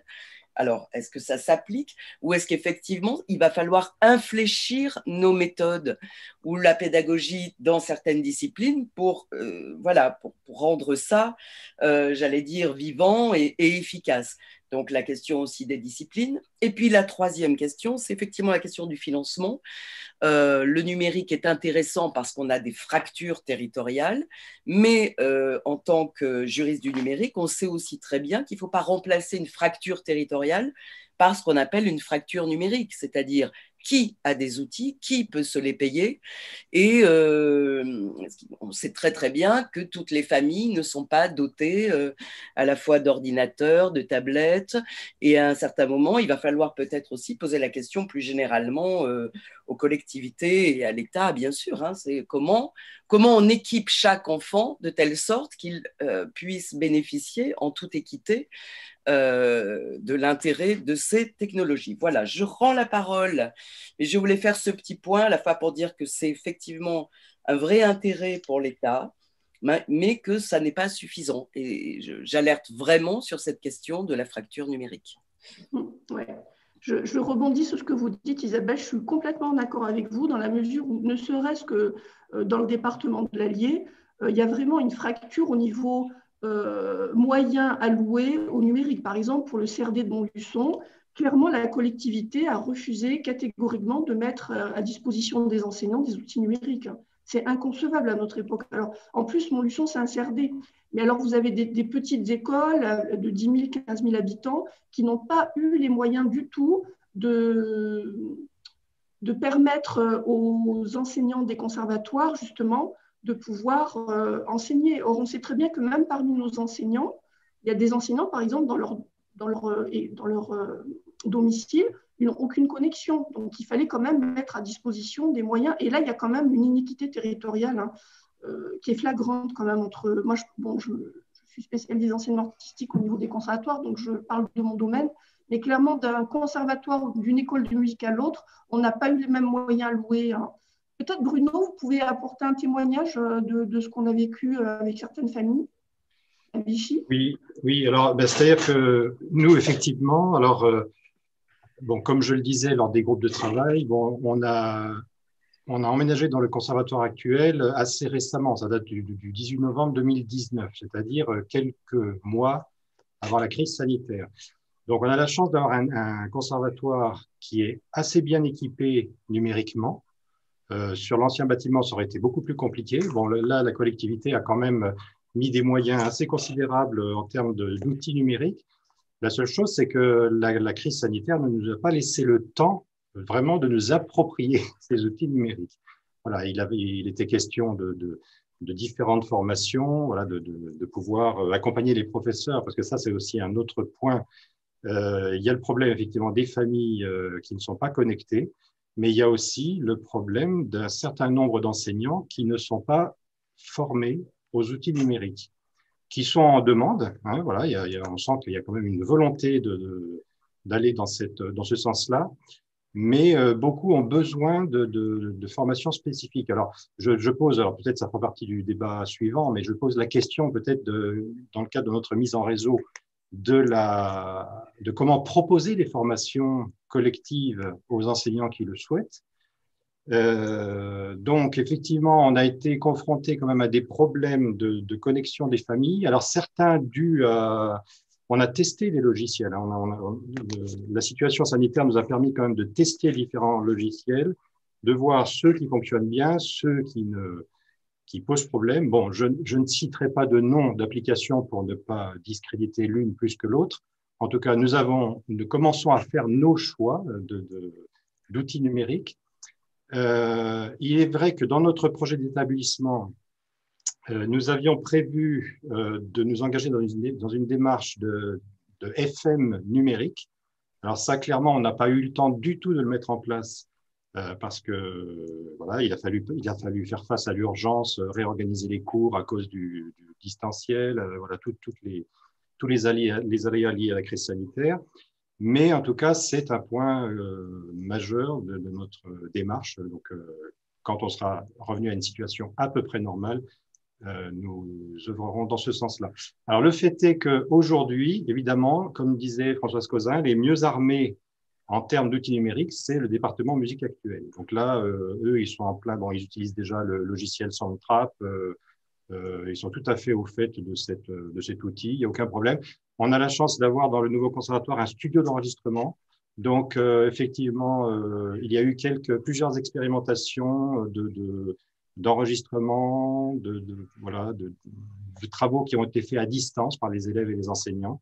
Et euh, le, technicien du, studio d'enregistrement ayant mis tout ça en forme pour pouvoir proposer sur, le, euh, sur Internet, sur euh, YouTube, le, site de la collectivité, des expérimentations qui ont été très probantes, voilà, qui sont, très parlantes.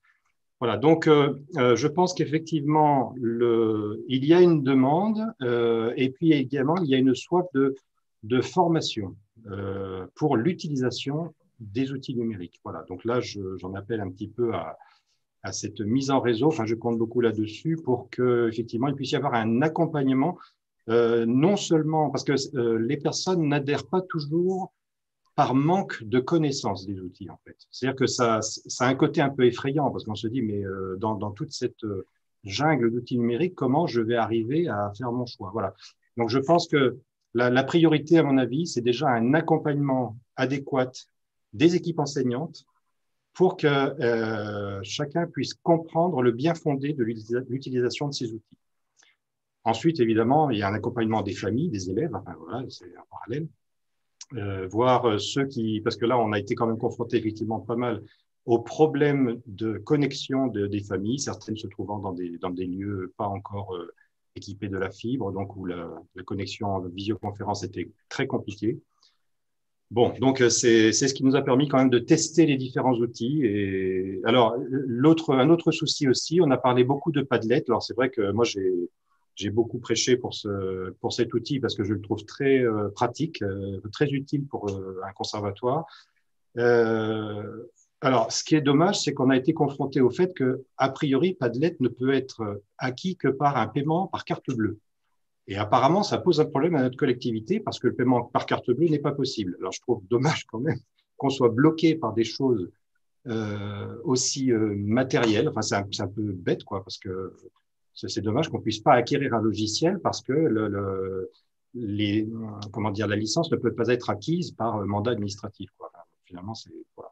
Donc, c'est des petits, des petits soucis qui sont, bon, qui sont mineurs, mais enfin, c'est quand même dommage que ça bloque à ce niveau-là pour, pour, des raisons comme ça. Voilà. Si, si, je peux juste euh, un petit mot à ce sujet, justement, je me suis renseignée et euh, donc il semblerait quand même que les structures soient en capacité d'acquérir des cartes bleues. C'est vrai que le problème, c'est que si on prend une carte bleue juste pour payer pas de lettres, on ne va pas la prendre. oui.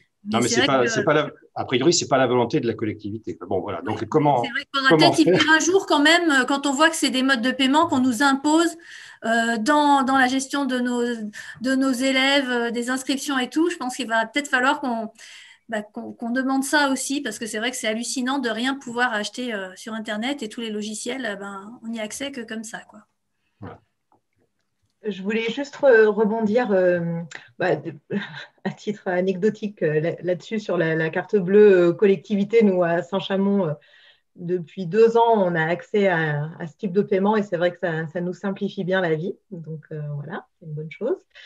Euh, sur, euh, sur l'équipement euh, des, conservatoires, des écoles de musique, nous à Saint-Chamond, c'est vrai qu'on a, on a eu la chance d'avoir un, accompagnement pour pouvoir équiper chaque salle bah, d'un ordinateur, tout simplement, qui est relié au réseau, avec possibilité de faire de la visio.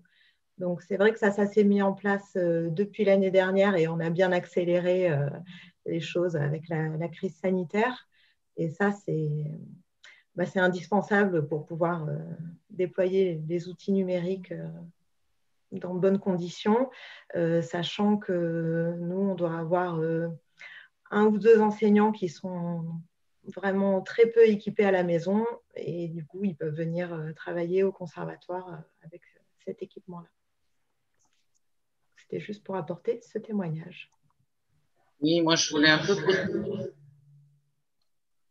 oui, je voulais un peu poser la question euh, ben, par rapport à l'équipement des familles, à la formation des familles, de savoir si parmi ceux qui sont déjà bien actifs dans ce domaine, ils ont pu avoir des, des relais avec d'autres institutions ou associations de leur territoire euh, pour relayer justement une aide aux familles ou la possibilité d'accès à des élèves je prendrai juste la parole pour vous répondre. Euh, je viens juste de rencontrer, là, pour Marie-Aline, je sais que Marie-Aline, tu as pris euh, contact avec le département, le conseil départemental de l'Allier, et Sophie Poté m'a dit qu'elle était très intéressée par le projet.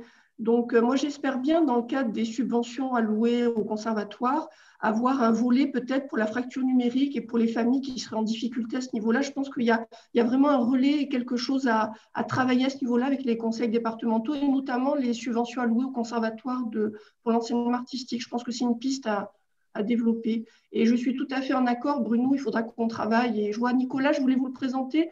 C'est mon adjoint qui nous a rejoints et qui est en charge de la formation musicale. Il aura peut-être un petit témoignage puisqu'il enseigne en, numérique euh, l'AFM. Donc, euh, euh, peut-être essayer de travailler auprès de notre collectivité pour faire avancer un peu le chemin public et puis pouvoir payer par carte bleue, ça serait quand même, ça nous aiderait grandement. Mais bon, on n'y est pas encore. Hein. il faut s'armer. Voilà. Alors, je ne sais pas si d'autres personnes ont quelque chose à dire par rapport à la question qui a été posée par Marie-Pascale Dumas. Sur la question des aides, peut-être des relais pour l'équipement aux familles ah, Non seulement des aides, ce n'était pas forcément des aides financières, c'était aussi que bah, certaines structures dans d'autres domaines, moi je vois notre médiathèque par exemple, euh, peut accueillir parce qu'elle a, euh, a des postes informatiques, euh, elle a quelqu'un qui s'en occupe, elle peut accueillir sur certaines plages horaires des gens qui ont besoin d'un accès et qui n'ont pas forcément chez eux. Et c'était ce genre de partenariat-là dont je me posais la question de savoir s'il pouvait exister à certains endroits. Ou avec des associations qui, elles aussi, peuvent être équipées et, éventuellement accueillir des élèves sur des plages horaires. Moi, je voulais juste euh, pas donner du tout d'expérience de, euh, vécue, mais me dire que ça me donne vraiment une idée euh, pour la suite. dans les idées d'équipement de l'école, donc, c'est une école assez grosse, associative, avec à peu près 400 élèves. Et, aussi dans l'arrière-pays, euh, donc pas forcément un bon accès à tout le monde. Et je me dis que ce serait vraiment pertinent d'imaginer une salle accessible comme ça, hors temps de cours, pour nos élèves qui n'ont pas un accès facile à la maison, et, et aussi impliquer des associations de qui sont sur, cette question-là de fraction numérique et qui pourraient venir aussi faire des permanences et, de l'aide à, nos élèves. Nous, on a la chance que notre collège euh, donne une tablette euh, en fait à tous les élèves à partir de la cinquième. Donc, on a aussi ce travail à faire de, liaison avec le collège euh, bah, pour que cet outil numérique fourni à chaque élève puisse aussi servir à l'enseignement musical.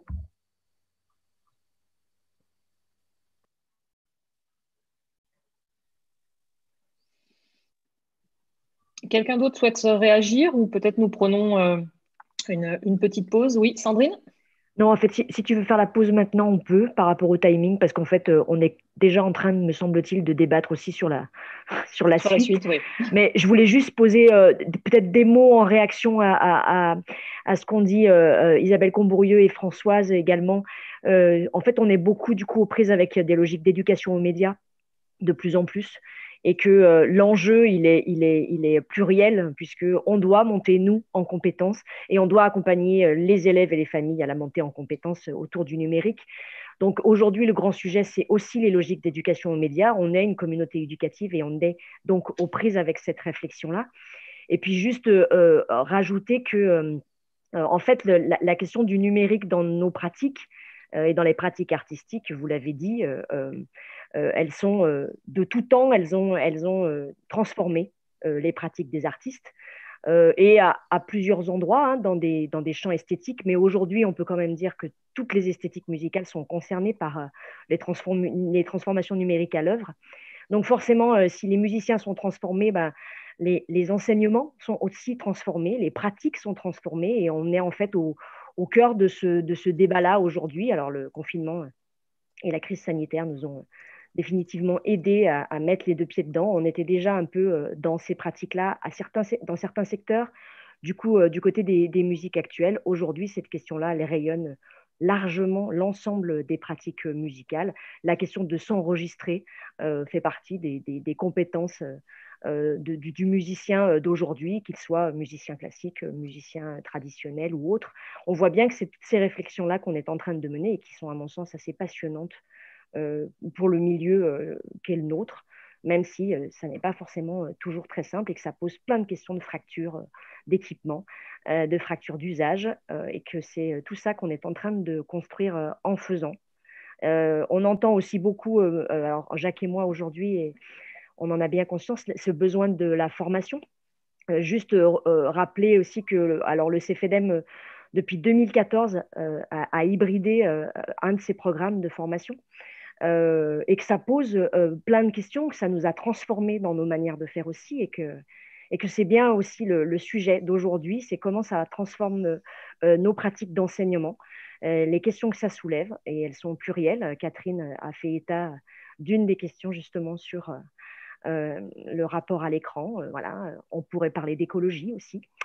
On a parlé un peu de droit d'auteur. Voilà tous ces sujets-là, qui sont des vraies questions de société, euh, et ben, notre profession est aux prises avec euh, ces enjeux-là. Euh, et on construit tous ensemble bah, des, manières de faire. La, force du réseau et la force de la collaboration, ce sera aussi un enjeu très fort. Et on l'a vu, le confinement nous a amené à ça. On a ouvert nos portes et on a échangé sur nos pratiques. On doit continuer, c'est fondamental. C'est peut-être le côté très positif de la crise sanitaire, si on doit évoquer mais on reparle de tout ça tout à l'heure après la pause.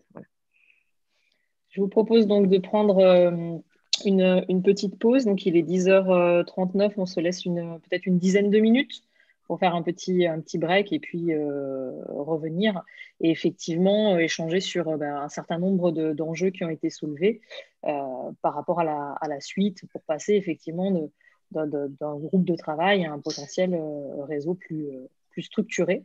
Merci aux, personnes qui ont participé jusqu'à présent et qui nous ont indiqué devoir euh, partir. Euh, et puis, bah, à tout de suite pour, euh, pour les autres.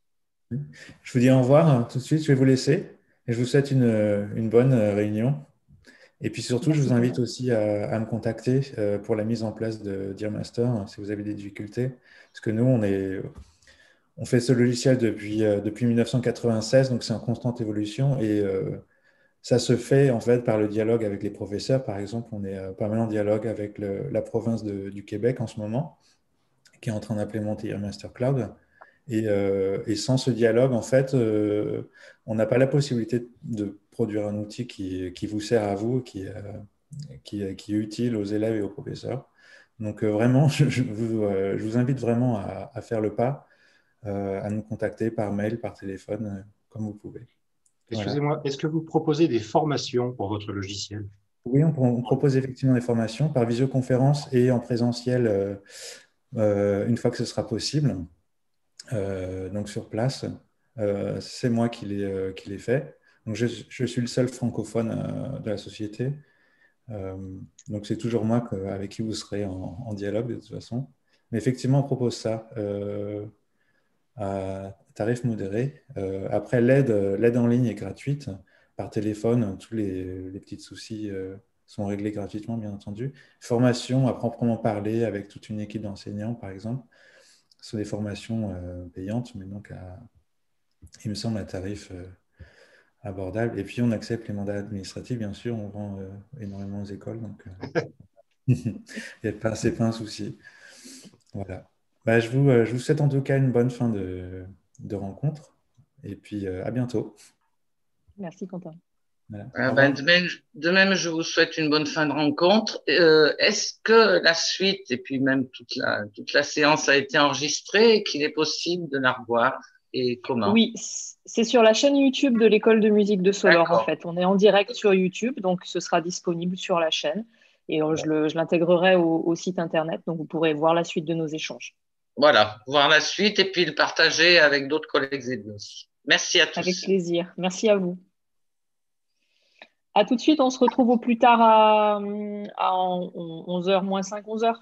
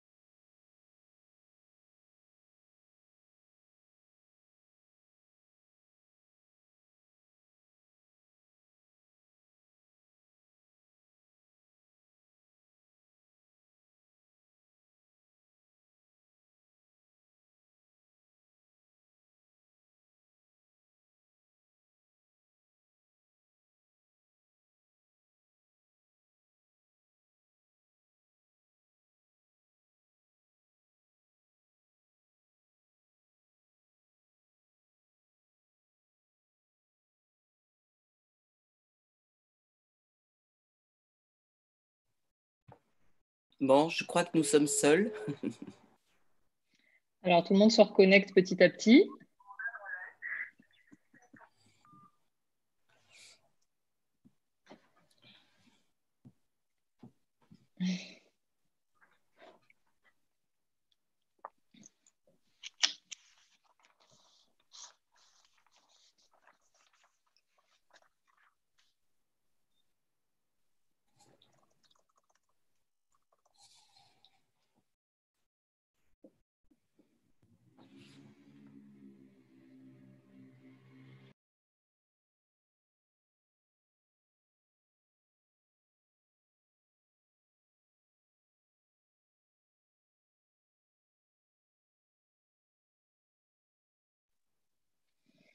Dans cette euh, deuxième partie de table ronde, euh, il est question de, pouvoir avoir des, échanges tous ensemble sur justement euh, la poursuite donc, de cette expérimentation et la poursuite de ce groupe de travail et comment, à un moment donné, arriver effectivement à le faire grandir et à le structurer véritablement comme, un réseau identifié sur le, territoire.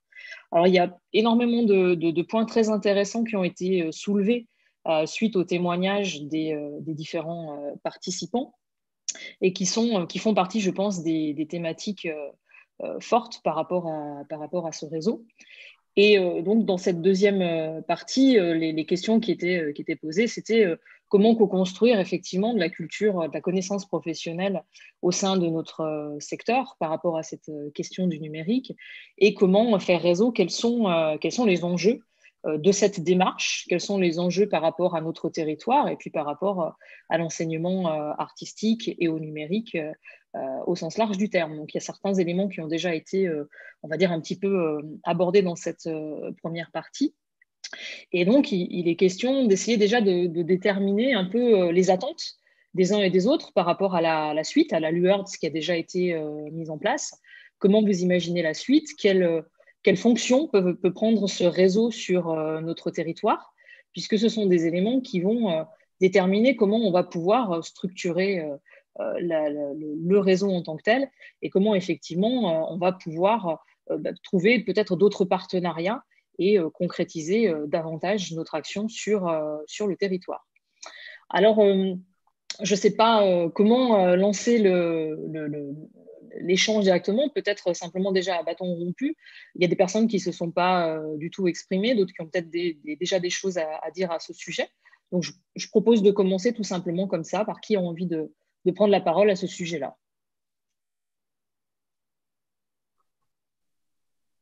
Jacques? Oui, déjà, euh, expliquer un tout petit peu euh, notre démarche par rapport à ce réseau-là, et puis où, est où en est le CFEDEM euh, un peu par rapport à ces questions? Par la, par la, prise de position de Sandrine sur les outils numériques, le CFEDEM s'est emparé de ces questions-là, et il s'en est emparé à énormément de niveaux. En, par la connexion que nous avons avec Solor et, aussi la métropole, c'est un niveau territorial, de, concret, de qu'est-ce qu'on fait euh, au jour le jour avec les élèves qui viennent vers nous, euh, comment ces outils numériques peuvent être euh, au service de la transmission. Et je, lisais dans le compte-rendu que c'était Bruno Totaro qui citait ça, que le numérique est important pour rejoindre les élèves là où ils sont à l'aise. Et il citait ça dans le cadre de la formation musicale. Mais c'est aussi, on l'a vu dans l'échange tout à l'heure, un outil pour les rejoindre tout simplement là où ils sont physiquement. C'est-à-dire que la crise du Covid a créé des liens euh, non pas territoriaux, puisque tout le monde était dans la même ville, ou pratiquement, euh, pour certains nombres d'entre nous, on n'était pas très loin les uns des autres, mais impossibilité de se connecter.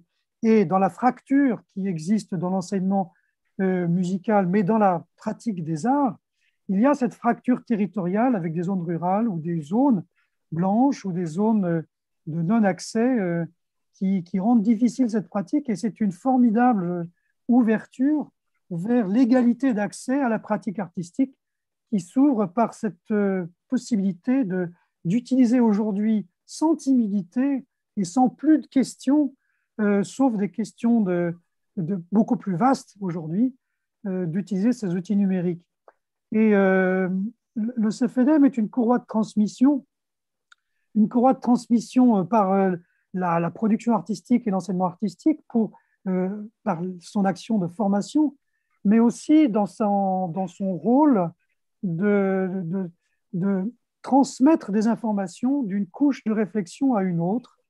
Et c'est pour ça que euh, nous sommes engagés dans, une, euh, dans un projet de recherche euh, financé par le ministère de la Culture sur les mêmes questions qui se posent dans ce réseau territorial, mais à un échelon national, une réflexion qui a été, je veux dire, un projet qui a été fondé sur une expérimentation que nous avions menée avec la CMF.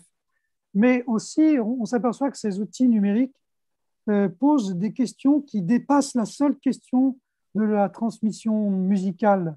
Ça touche tous les arts, mais ça touche, comme ça a été aussi évoqué dans la conversation précédente, énormément de questions euh, sociétales, éthiques, socio-économiques, euh, qui transforment complètement les pratiques. Et je pense qu'on n'en est qu'à l'aube de cette transformation.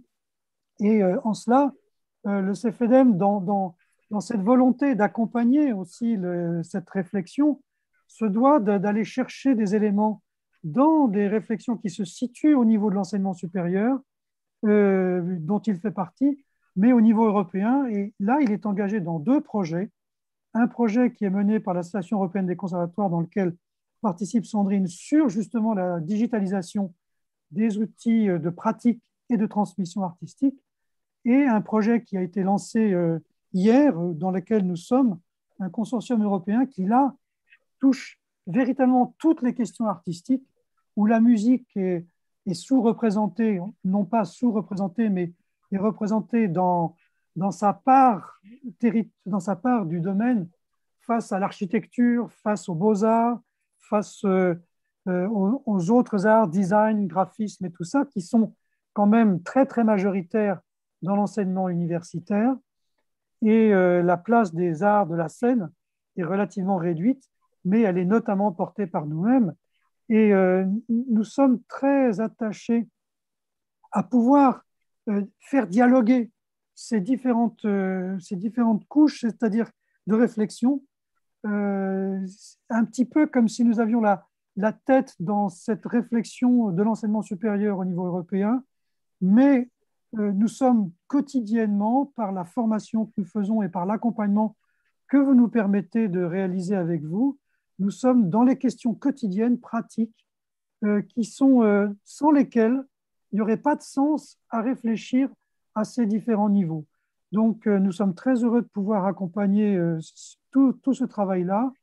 Et très, très soucieux que la réflexion de Mme Combourieux sur la, la réalité de, de, ce réseau au niveau de Auvergne-Rhône-Alpes, parce qu'on sait que les questions d'isolement territorial se posent euh, peut-être pas de la même façon dans les différents endroits de cette vaste région et que euh, on le voit bien par l'origine géographique des étudiants qui sont dans la formation euh, diplômante en cours d'emploi, qui sont extrêmement dispersés et que cette formation hybride, comme l'a souligné Sandrine, permet enfin de réunir dans une même dynamique des gens qui, sans cela, ne se seraient jamais rencontrés et n'auraient jamais travaillé ensemble. Donc, euh, longue vie à ce réseau et nous sommes très heureux de pouvoir l'accompagner et euh, de pouvoir euh, alimenter la réflexion dans, dans les capacités que vous solliciterez. Voilà ce que je tenais à vous dire. Merci beaucoup, Jacques. moi, je veux bien prendre la parole rapidement. Donc euh, tout ça est, quand même euh, particulièrement complexe, hein, comme vient de le dire euh, Jacques. ça dépasse le cadre spécifique de l'enseignement musical. Hein. Ça rejoint des problématiques d'enseignement supérieur, des problématiques de fracture sociale, etc. Et comme ça a été dit plein de fois, le, la problématique euh, a été euh, accélérée par, le, Covid. Euh, simplement, moi, je, il y a un mot qui n'a pas été prononcé encore aujourd'hui. C'est alors ça veut tout dire et rien dire, mais c'est la question de la lutherie numérique, qui n'est pas, pas nouvelle. Hein. C'est-à-dire que on a effectivement avec les nouvelles technologies tout un ensemble de, nouveaux instruments, on va dire, qui sont, qui sont apparus il y a maintenant euh, quand même plusieurs dizaines d'années et qui sont, euh, euh, en fonction des écoles, en fonction des profs, etc., qui sont familiers pour certaines personnes et, et plus obscurs pour d'autres. J'ai entendu aussi le fait que les musiques actuelles étaient moins, enfin, étaient plus facilement familiarisées avec ces outils. Et donc, effectivement, euh, je pense qu'il y a d'un côté euh, la, question de, ces nouvelles pratiques, euh, et puis de l'autre côté, la question de l'urgence de la, crise du Covid, et effectivement, bah, tout ce qu'il faut mettre en place et accélérer pour pouvoir répondre aux urgences liées à la pédagogie, euh, la continuité des, enseignements. Euh, donc voilà, moi j'interviens juste pour, euh, pour tout le monde en a conscience, mais pour préciser qu'il y y a quand même une, une complexité dans, dans, toute cette démarche, que je pense qu'il y a certains, certains, certaines disciplines qui sont plus familiarisées, d'autres qui sont moins familiarisées. Je pense que d'une manière globale, euh, les, euh, les, les, établissements d'enseignement euh, artistique, bah, face à l'urgence, ont mis en place ce qu'ils pouvaient mettre en place en fonction des, des possibilités aussi de connexion et de matériel qui, étaient à leur disposition. Bon, euh, aujourd'hui, il faut, il faut certainement euh, re-questionner et bien identifier les, euh, les priorités là-dedans. Euh, euh, est-ce que la priorité, ben, c'est de, de, repenser globalement le, les, modalités et, les, outils pour enseigner ou est-ce que c'est être en capacité de, répondre à une crise d'urgence? Enfin, voilà, y a, pour moi, c'est un sujet particulièrement complexe euh, c'est vrai qu'il y, a pas mal de personnes euh, présentes sur cette table ronde, mais on sait tous que le nombre de personnes qui sont mobilisées et la disparité qu'il peut y avoir dans les différentes écoles de musique, qu'elles soient associatives euh, ou, pilotées par des, collectivités.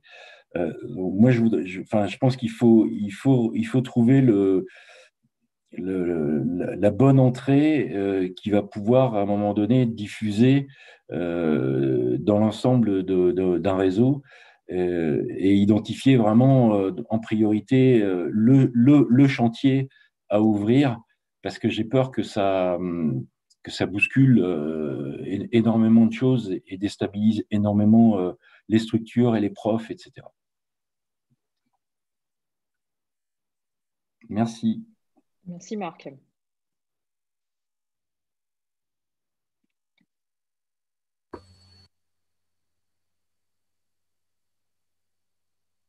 Caroline?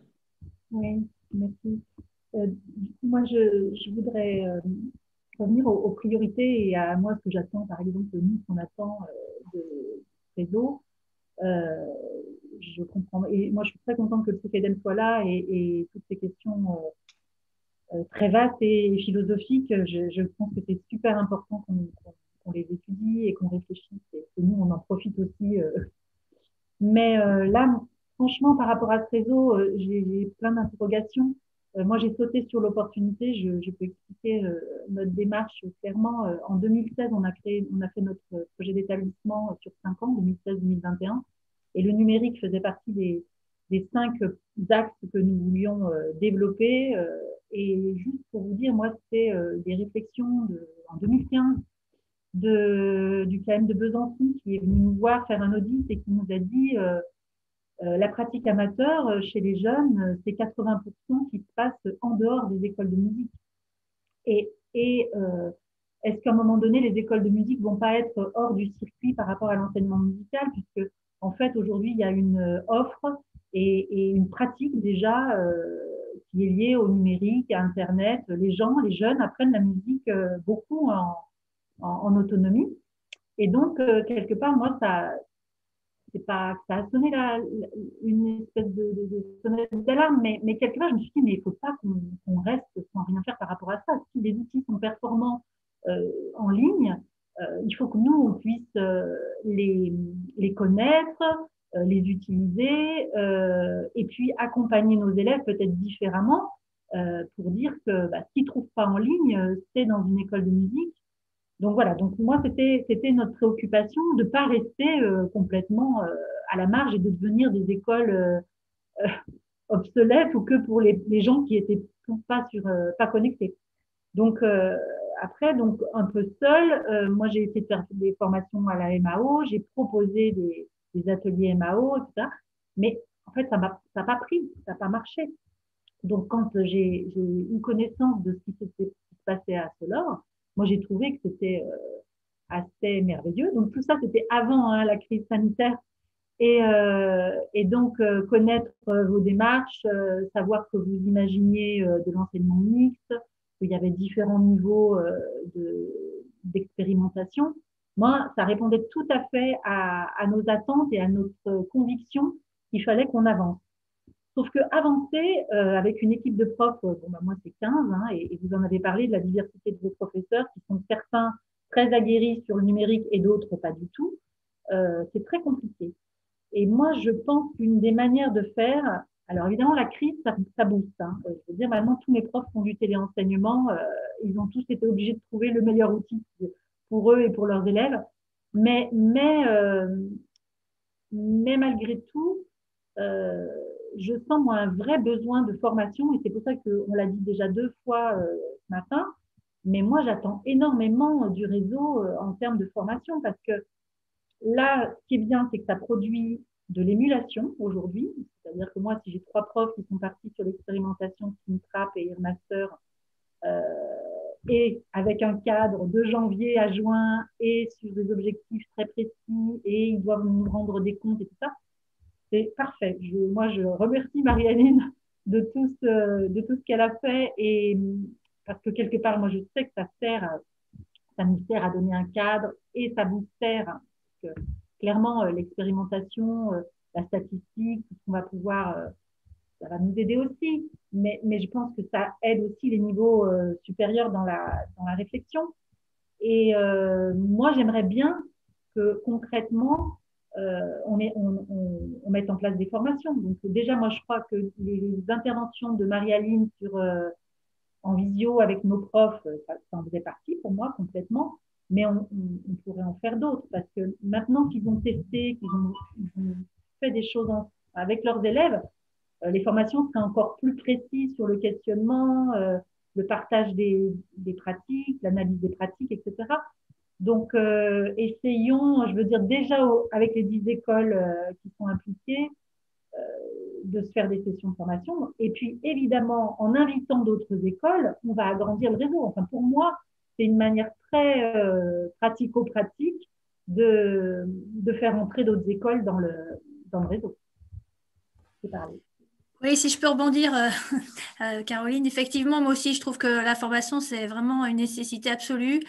Euh, alors on sait qu'on a des jeunes profs euh, qui se sont assez euh, facilement adaptés, voilà. Mais il y en a d'autres, voilà, ça a évolué tellement vite. on a des profs, c'est pas qu'ils veulent pas, mais ils ont vraiment besoin d'avoir un accompagnement.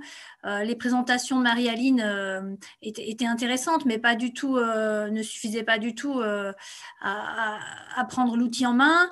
moi, je sais qu'au niveau de au niveau d'Irmaster, eh ben, on a rassemblé, euh, on s'est rassemblé à, quatre autour d'une table, et puis on a, on est allé voilà euh, piocher dedans.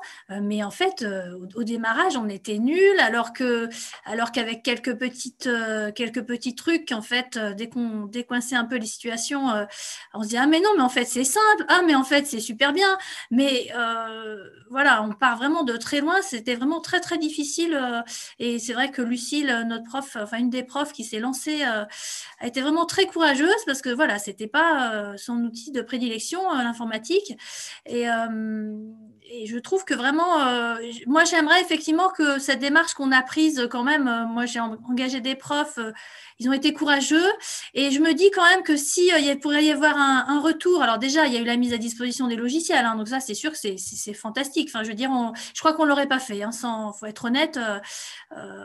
D'abord on n'aurait même pas pu les payer avec notre carte bancaire qu'on n'a pas, mais voilà, on pouvait vraiment pas démarrer sans cette mise à disposition des logiciels. mais la formation est moi, je pense vraiment indispensable parce que nos profs ne pourront pas transmettre quelque chose s'ils ne sont pas suffisamment à l'aise eux-mêmes euh, et convaincus de, l'efficacité de, ces outils. Et puis, je voudrais dire que nous, on a Sylvain Michel dans notre école euh, qui est embauché pour euh, deux heures hebdomadaires, hein, qui fait des ateliers d'accordéon diatonique, mais qui est musicien par ailleurs et alors qui s'est euh, bah, s'est retrouvé un peu au chômage, hein, bien sûr, dans tous ces spectacles, et qui s'est emparé quand même euh, de Soundtrap, de BandLab, qui a fait des comparatifs, qui a fait un tuto, qu'il l'a mis à disposition, je crois. Hein, il a mis son tuto à disposition à toute la à tout, le, réseau là.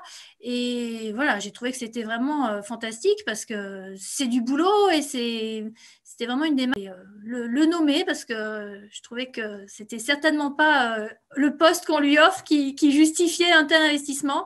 Mais euh, voilà, il a été vraiment fabuleux. Voilà. Et puis peut-être dire une, autre petite chose. Alors nous, on a une école des arts, donc art plastique, danse, théâtre et musique. Alors, euh, c'est vrai que, eh ben, école de musique connectée, euh, forcément, euh, il peut y avoir un prof à côté qui peut tiquer un peu en disant, eh ben voilà, encore une fois, on nous oublie. Hein.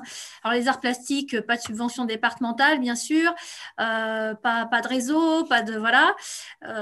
alors, nous, ce qu'on a fait, c'est un Padlet. Donc, c'est Séverine Solaire qui est intervenante en milieu scolaire et qui fait l'éveil aux arts qui a en fait bien voulu euh, monter un Padlet euh, pour l'éveil aux arts, donc qui est pour les 4-5 ans et qui regroupe les quatre disciplines. Et donc c'était un, moyen pour nous d'associer euh, le théâtre, la danse et les arts plastiques à cette démarche, parce que voilà, on n'avait pas des profs forcément prêts à, aller là-dedans, mais je pense qu'il faut qu'ils y aillent aussi. Hein, et donc on les a associés par le biais de ce Padlet. Et aux outils numériques, en fait, qui ne connaissent pour certains pas du tout. Donc, euh, j'espère aussi qu'à un moment, on pourra euh, avoir un peu plus de, de liens aussi avec les autres euh, arts, en fait. Voilà. Qu'on ne reste pas à la musique aussi.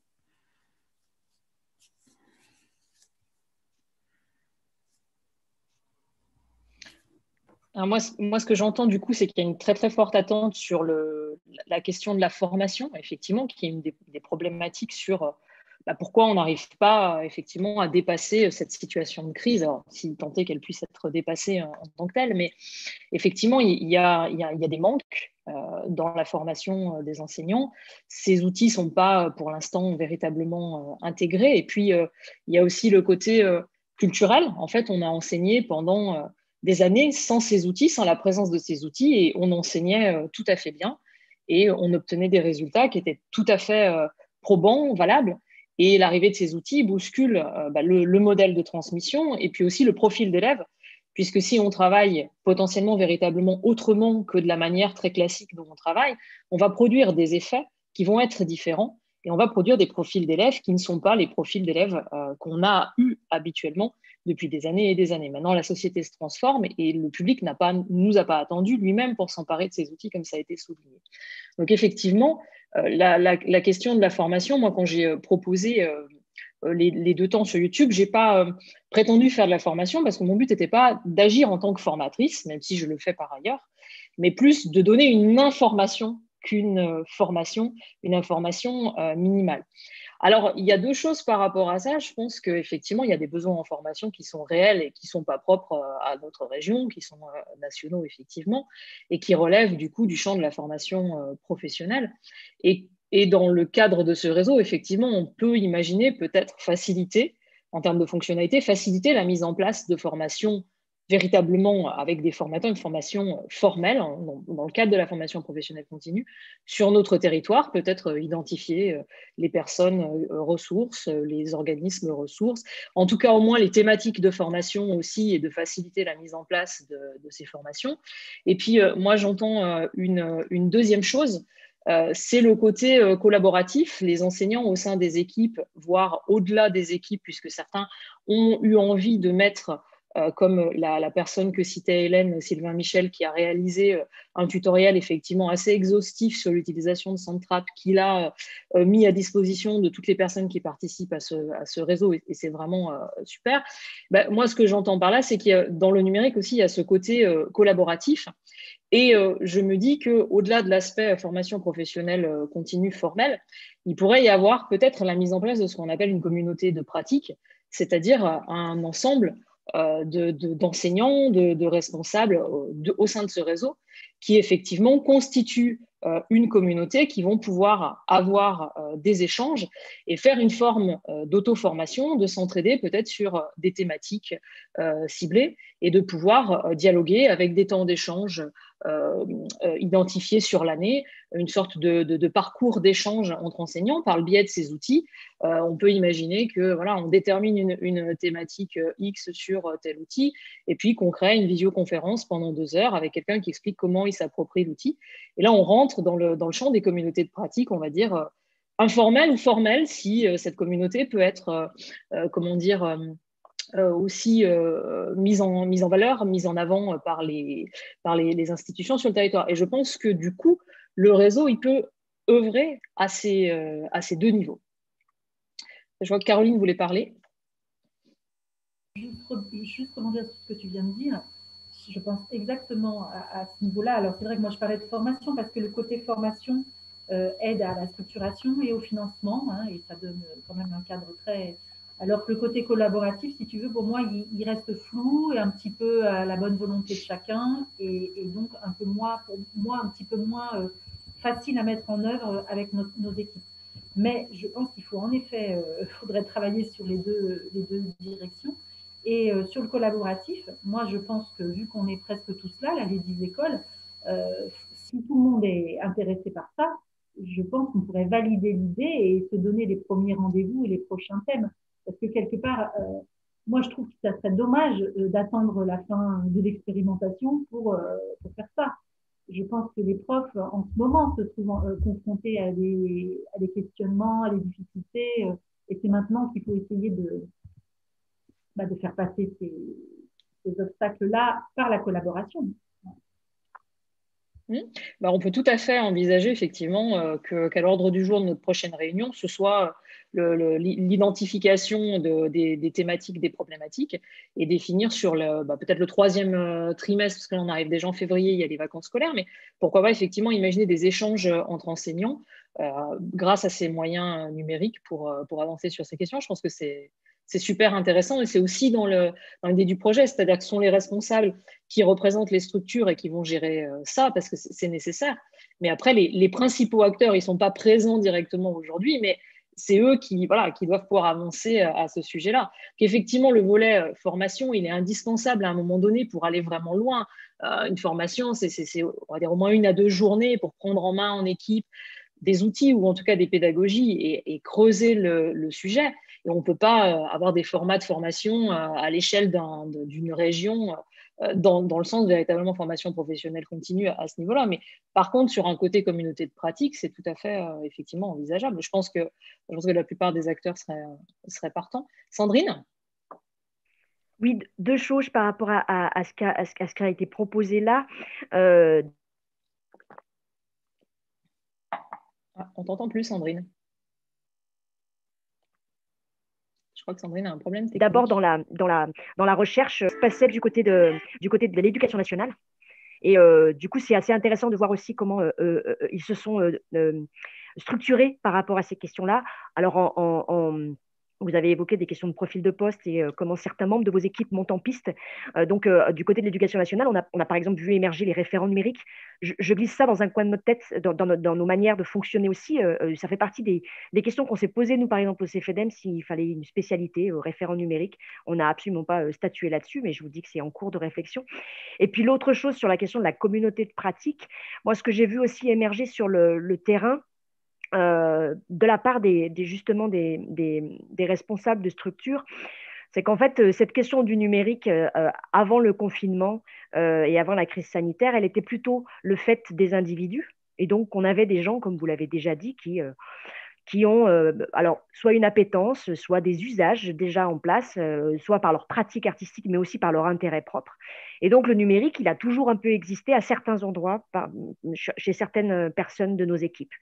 Et en fait, on se rend compte que du fait du confinement, le collaboratif, mais j'ai envie de parler de pair à pair, la, logique de pair à pair, comment on apprend les uns des autres, en fait, c'est énormément mis en place. Et du coup, ce que j'ai trouvé très intéressant de la part des, responsables de structure, c'est qu'en fait, on s'est retrouvé à valoriser des compétences qu'on avait en interne de nos équipes pour essayer de mettre en place des formations internes alors, de là où je parle, je ne vais pas vous dire que d'avoir une forme d'extériorité, ça fait quand même toujours du bien aussi dans un contexte de formation. Mais il n'empêche que de valoriser aussi le fait de dire euh, à tel endroit, il y a tel enseignant, il a tel type de pratique, et du coup, il peut accompagner, en tout cas montrer, donner à voir ce qu'il fait. On a quand même aussi découvert ça, euh, euh, je pense, dans nos, équipes respectives, et que on a eu des endroits. Alors, je pourrais citer juste le conservatoire de, Vanves en région parisienne, qui du coup euh, a mis en place en début d'année, en début de chaque année, des ateliers de pratique menés, des ateliers de formation mis en place par les équipes. Donc, c'était des, enseignants qui montraient à leurs collègues comment eux pratiquaient. Voilà. tout ça pour dire que c'est peut-être des formes qu'on peut réutiliser aussi dans le réseau. Comment on, s'apprend les uns les autres. voilà. Ça fait partie des cultures numériques dont je parlais tout à l'heure, le pair à pair. On est vraiment là-dessus. Et je pense que c'est des modalités qu'on qui peuvent être intéressantes de, découvrir. En tout cas, que nous, on essaie de valoriser euh, régulièrement euh, au CFDM, de dire que peut-être que euh, les formateurs et formatrices, il y en a partout sur le territoire. Voilà. Il faut savoir, parce que moi, ça fait cinq ans que j'essaie de mettre ça en place au sein de l'école et c'est très difficile. J'ai certains professeurs qui sont tout à fait en capacité en fait, de former les autres et, et je n'arrive pas à le mettre en place. Et quand j'ai, alors que j'ai vu que Marie-Aline Bayon proposait des formations au CPDM et de deux jours, et que je me suis dit, bon, ben, moi, je vais en faire une OKM pour mes 15 profs, mais voilà, donc je vais construire des formations collectives. J'ai appris par, que Uniformation, qui est donc notre pro, nous, euh, pouvait même financer des formations en interne, c'est-à-dire que c'est des intervenants, nos profs qui peuvent.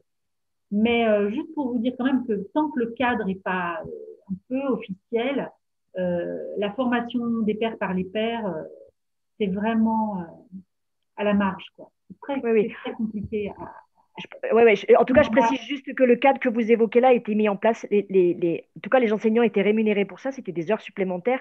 Donc, c'était valorisé vraiment à ce titre-là. Et ça n'empêche pas que ça, dépend vraiment des équipes. C'est pour ça que vous êtes les mieux placés pour savoir si c'est possible ou pas, parce que du coup, euh, voilà, un collègue euh, qui, qui, donne à voir ou qui forme entre guillemets euh, un autre collègue, c'est pas toujours très très simple. Et ça, c'est vraiment une réalité du terrain aussi. J'ai pas de ouais, on est bien d'accord. Mais du coup, à l'échelle régionale sur notre territoire, ça peut être, peut être, être plus simple aussi de faire intervenir. voilà, il n'y a plus cette dimension de, de, structure dans laquelle on est et on est directement avec les collègues qu'on croise au quotidien mais plus on est sur le territoire euh, régional sur lequel on, travaille. Et du coup, on va pouvoir, par la même occasion, échanger avec des gens qui sont dans une structure qu'on n'aurait jamais croisée par ailleurs.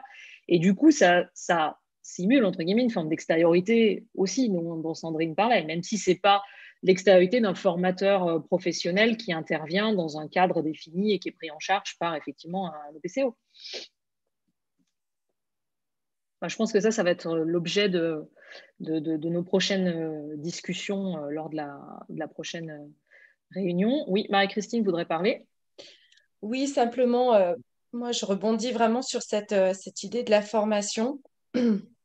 Alors, dans le cadre de nos structures, comme on est tous partants, il me semble qu'il y aura toujours cette question des logiciels et des supports euh, que nous souhaitons euh, développer parce que on le voit, il y, a une question financière hein, sous ces supports. Euh, Quentin est, très gentil, mais on, sait très bien que si, si on part avec Airmaster, il y a, y a une question financière qui va se, se, poser. Et ça peut être la force d'un réseau de négocier, non pas pour une seule structure, mais à l'ensemble d'autres structures. Donc ça, je trouve ça vraiment intéressant, ce, ce levier-là.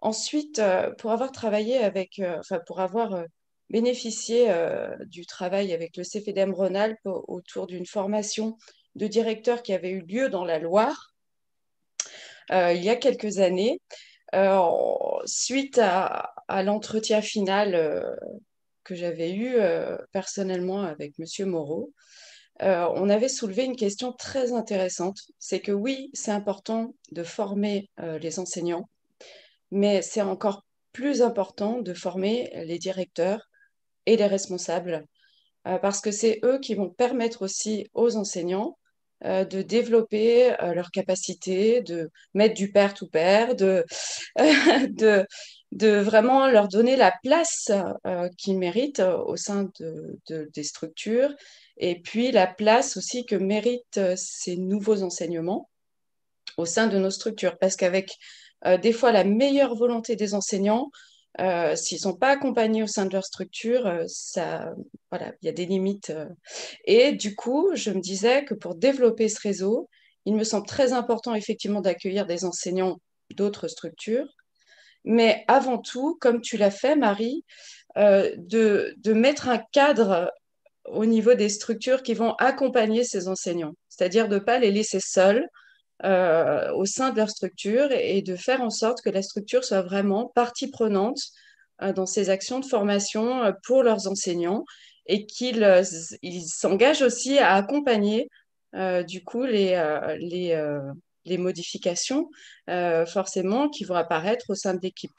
Ça me paraît vraiment, vraiment important. Voilà.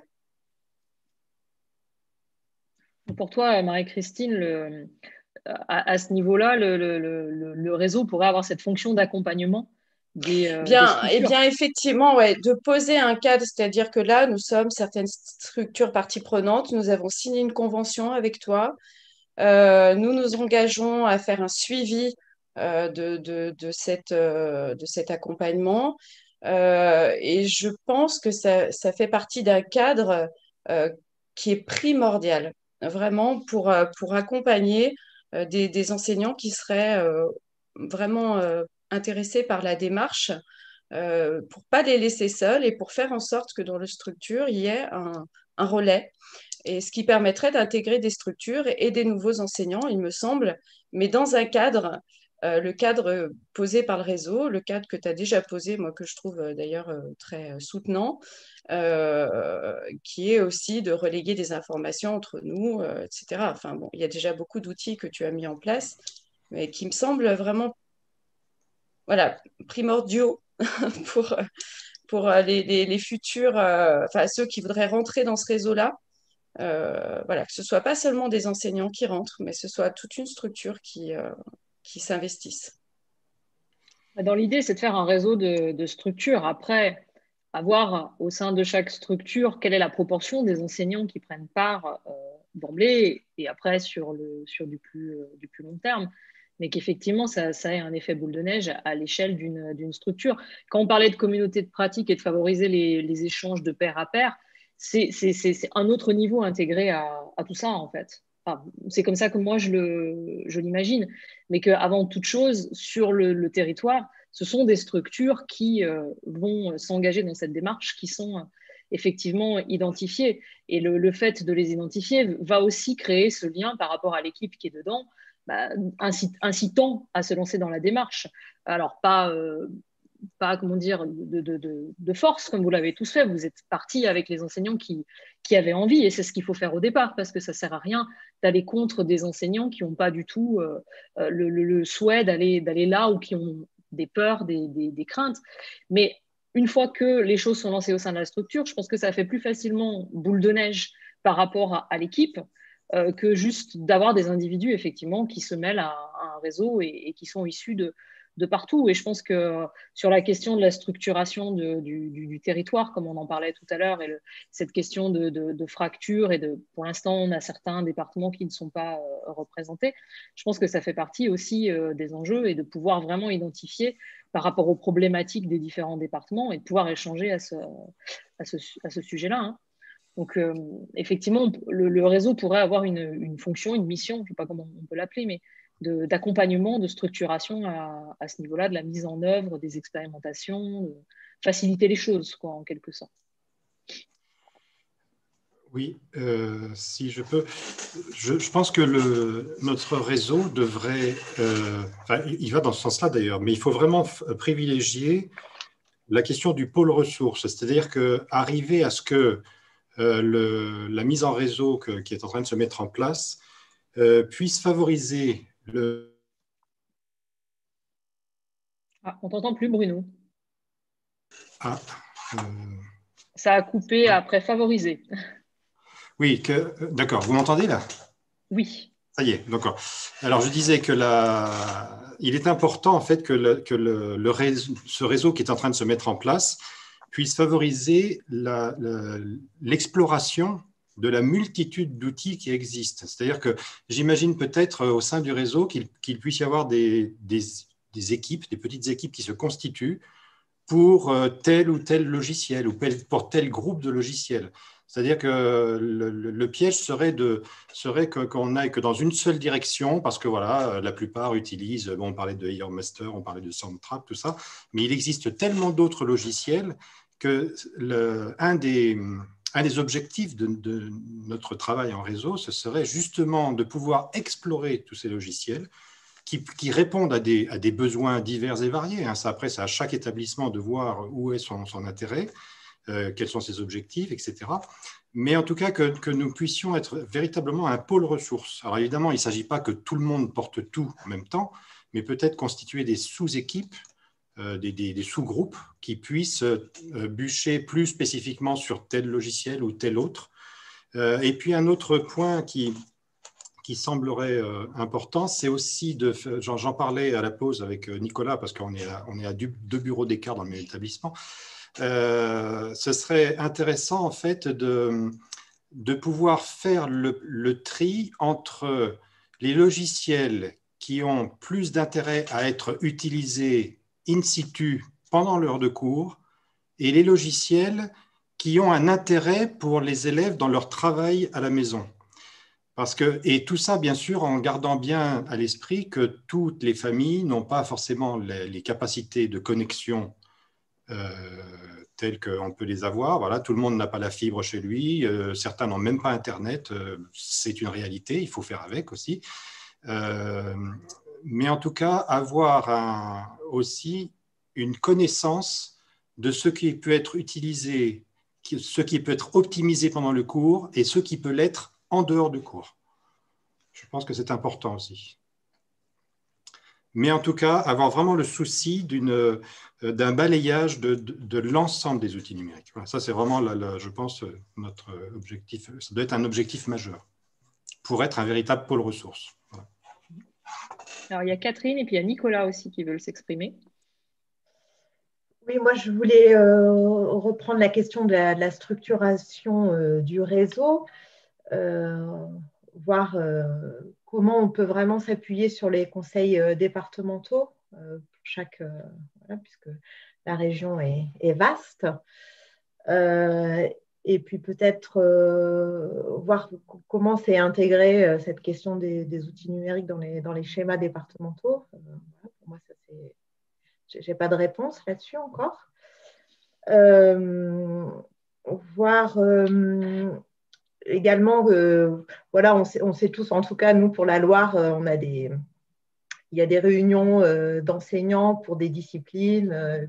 voilà, ça fonctionne plus ou moins bien selon les disciplines, mais voir si on pourrait avoir aussi sur le même modèle bah, des, enseignants référents de chaque structure autour des, outils numériques qui puissent se rencontrer et et mettre en place bah, des, programmes, des projets. Euh, voilà, ça, ça pourrait être une façon de structurer euh, le réseau de façon très concrète. Effectivement, en tout cas, notre schéma pour la Loire n'intègre rien au niveau du numérique, mais je pense pour euh, peut-être une majorité de, schémas, je ne connais pas tous les schémas des, autres départements, et ça, peut être une, manière, si cette problématique est intégrée sur un renouvellement du, schéma, euh, d'inciter aussi à, voilà, à s'intéresser à cette, question et puis d'apporter euh, un relais, euh, comme tu le dis, Catherine, sur le territoire, effectivement.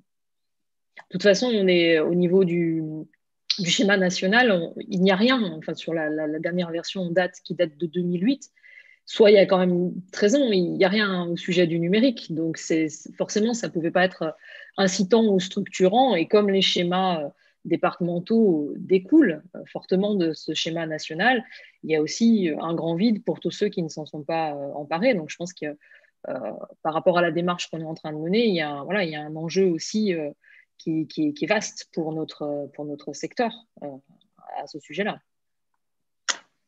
Oui, alors je, veux bien prendre la parole. Je crois que je suis le seul département représenté. Oui. En tout cas, agent du département. Et après, il faudra euh, laisser la parole à Nicolas également. Ah, ben vas-y, Nicolas, pardon. Non, mais Nicolas.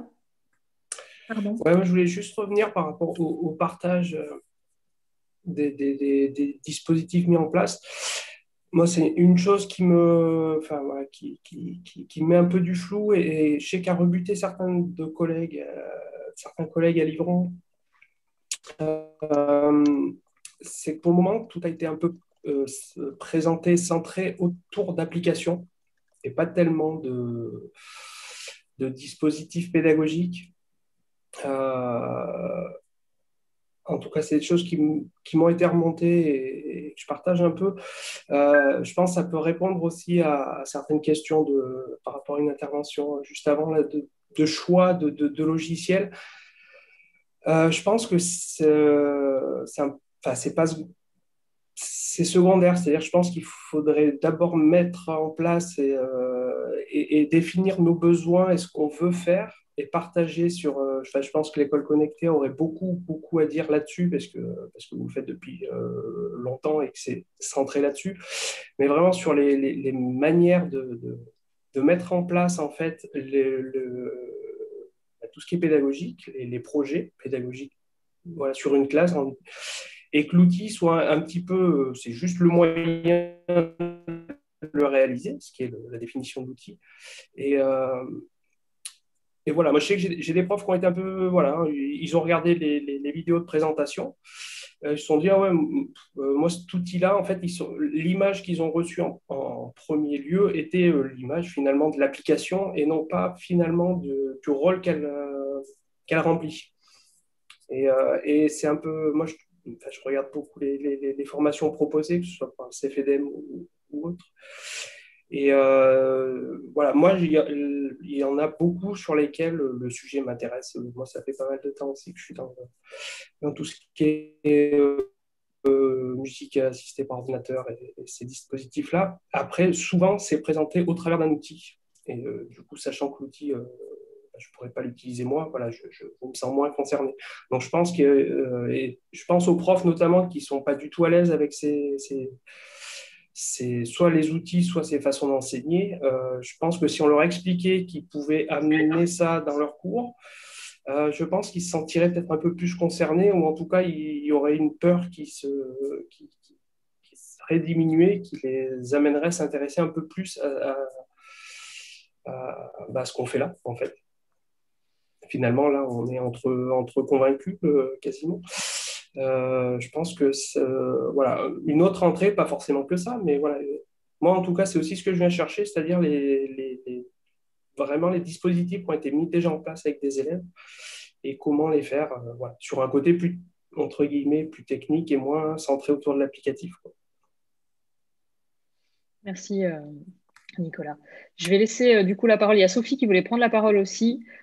Sophie, Alexandra et puis Sandrine. Sophie, on t'écoute?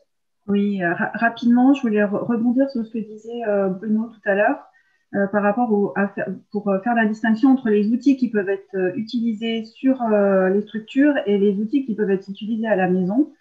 parce que rien que sur le territoire de la communauté de communes, donc il y a trois sites qui bénéficient, enfin, qui ont un accès à la connexion déjà très disparate. Moi, j'ai eu la mauvaise surprise d'apprendre que le site de 100% n'était pas éligible à la fibre et on a une connexion euh, vraiment pas, euh, vraiment pas, enfin, qui est vraiment de, faible qualité. Donc, c'est vrai que je me pose la question sur la pérennisation de la démarche et encore plus par rapport à nos familles. Euh, parce que sur le territoire, donc il y a 60 communes et on a quand même des retours pareils de parents qui ont subi le confinement, la période de confinement de manière assez difficile. Donc là, on, fait, on fait euh, voilà, il y a des, professeurs qui sont lancés dans l'expérimentation de Soundtrap Mais après, je, voilà, qu'est-ce que, comment on peut pérenniser ces outils, l'utilisation des outils numériques avec un territoire qui, peut, qui est, qui, est, quand même très, j'allais dire, mal, mal équipé, quoi, on va dire entre guillemets, et comment le réseau peut, comment dire, peut peut-être être euh, une force de proposition, comment ça peut apporter du poids euh, vis-à-vis d'une demande auprès des, ben, du conseil départemental, par exemple, euh, voilà, pour nous aider à, à, à, améliorer cette question du numérique sur le territoire. D'accord. Merci Sophie. Alexandra, du coup, qui voulait prendre la parole par rapport au, au département? Ben, Oui, par rapport aux schémas départementaux, parce qu'effectivement, comme euh, vous l'avez dit, Marie-Aline, euh, c'est vrai que le, schéma national euh, n'a pas forcément d'orientation spécifique, hein, précise là-dessus, et que je pense que ça, dépend ensuite de, chaque département. Et, et, des enjeux qu'on y met. Donc nous, on est dans l'évaluation de, de, notre schéma euh, actuel dans la perspective d'une réécriture. Et du coup, ben, évidemment, euh, il semblait euh, indispensable de prendre en compte cette question du numérique et de l'identifier comme un, des enjeux de notre schéma. Mais on, voit bien, malgré tout, que c'est une affaire qui est bien complexe par rapport à tout ce que vous venez d'évoquer d'ailleurs. Et la difficulté, c'est aussi de, pouvoir en fixer euh, ces, objectifs parce que justement de, pouvoir définir euh, notre place. Et je, trouve, du coup, moi, je suis venue à titre euh, informatif parce que, étant dans cette réflexion, ayant deux écoles du coup très investies là dans, cette démarche spécifique, c'est intéressant du coup de, voilà, de pouvoir prendre connaissance un peu de, de la façon dont, ça, ça, se fait. Euh, en tout cas, ce qui, on l'avait un petit peu évoqué aussi, euh, Marie-Aline, la première fois que vous m'avez contacté. Euh, ce qui peut être intéressant aussi, c'est de, mutualiser nos démarches dans des projets interdépartementaux, sur ces questions de formation, etc. effectivement, mais je, crois qu'il y a aussi la question de, l'investissement et des équipements, parce qu'on, bon, bah, évidemment, pour nous, dans, le schéma, on a vraiment un souci d'égalité d'accès. Euh, euh, puis la question des publics aussi, euh, du renouvellement des publics. donc, moi, c'est vrai que je suis assez curieuse et attentive de, voir comment les autres départements se, situent parce que c'est intéressant qu'on ait cette réflexion commune du coup. Nous, évidemment, on va engager une démarche euh, pour le département de la Drôme suite à l'évaluation qu'on est en train de faire, euh, mais qui sera propre à la Drôme. Et je pense que si effectivement on peut avoir une réflexion euh, qui soit commune au sein de la région, ce serait beaucoup plus efficace et, et, puis bah, mutualiser nos moyens parce que clairement, on a, nos enveloppes sont constantes. Donc, euh, euh, voilà, c'est à quel endroit on se situe. Et vraiment, c'est très important pour nous de définir l'objectif. Qu'est-ce qu'on met derrière le numérique? Parce que ça, voilà, ça, reste, euh, on voit bien que ça, c'est très disparate. Quoi. Donc, c'est vraiment une vraie, une vraie, difficulté aussi de, de le structurer dans les schémas.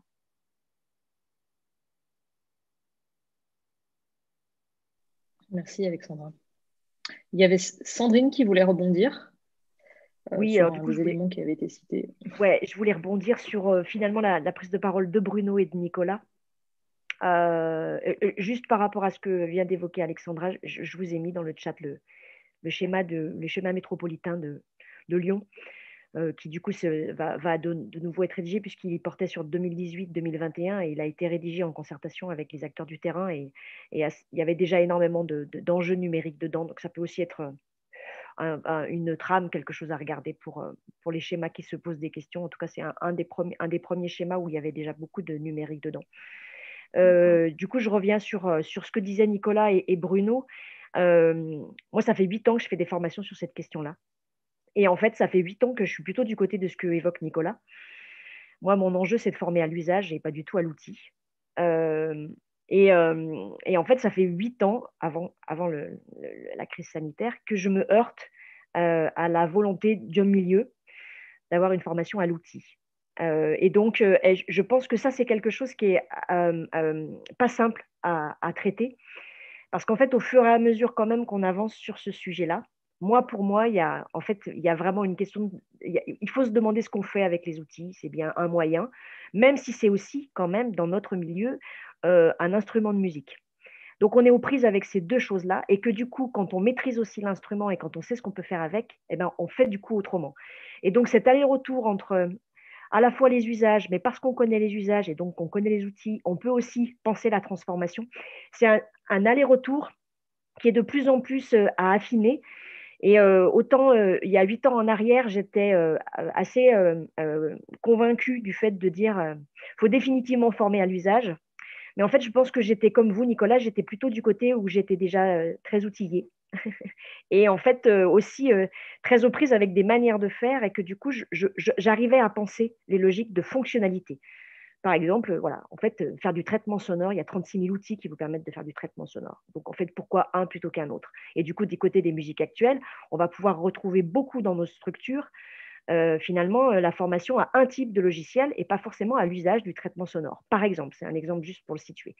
Et en fait, de plus en plus, je pense qu'il va falloir qu'on arrive à faire des allers-retours entre former à l'outil, euh, mais peut-être, et comme vous l'avez déjà dit, euh, au sein des structures, euh, Isabelle Compourieux a, fait mention de ça tout à l'heure, finalement, quel outil au service de, quelle fonctionnalité au sein des structures il va y avoir une question d'outils communs parce que ça permet aussi de faire des choses. Et en même temps, je trouve que le danger, et c'est peut-être aussi ce qu'évoquait Nicolas, quand on forme à l'outil, on normalise aussi les pratiques.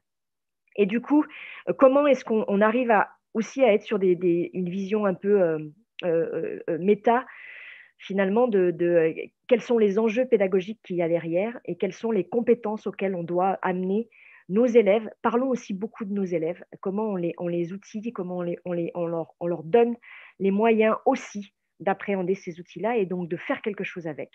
Et peut-être que demain, un, musicien qui sort d'une école de musique, ce n'est pas un utilisateur de live, citer qu'un logiciel, mais c'est un, musicien qui sait euh, euh, trafiquer du son, euh, qui sait modifier du son en direct, qui sait, et finalement qu'il le fasse avec Live ou avec une autre station audio numérique, eh ben, c'est peut-être pas là, le, l'enjeu. Et en même temps, eh ben, on a tous des usages de ces outils-là. Et donc, ben, on va former plus ou moins à tel ou tel outil. Je trouve que c'est un vrai débat, en tout cas, qui est très intéressant qu'on noue avec le terrain, parce que je trouve que c'est un aller-retour où, euh, en tout cas, moi, j'ai déjà beaucoup bougé.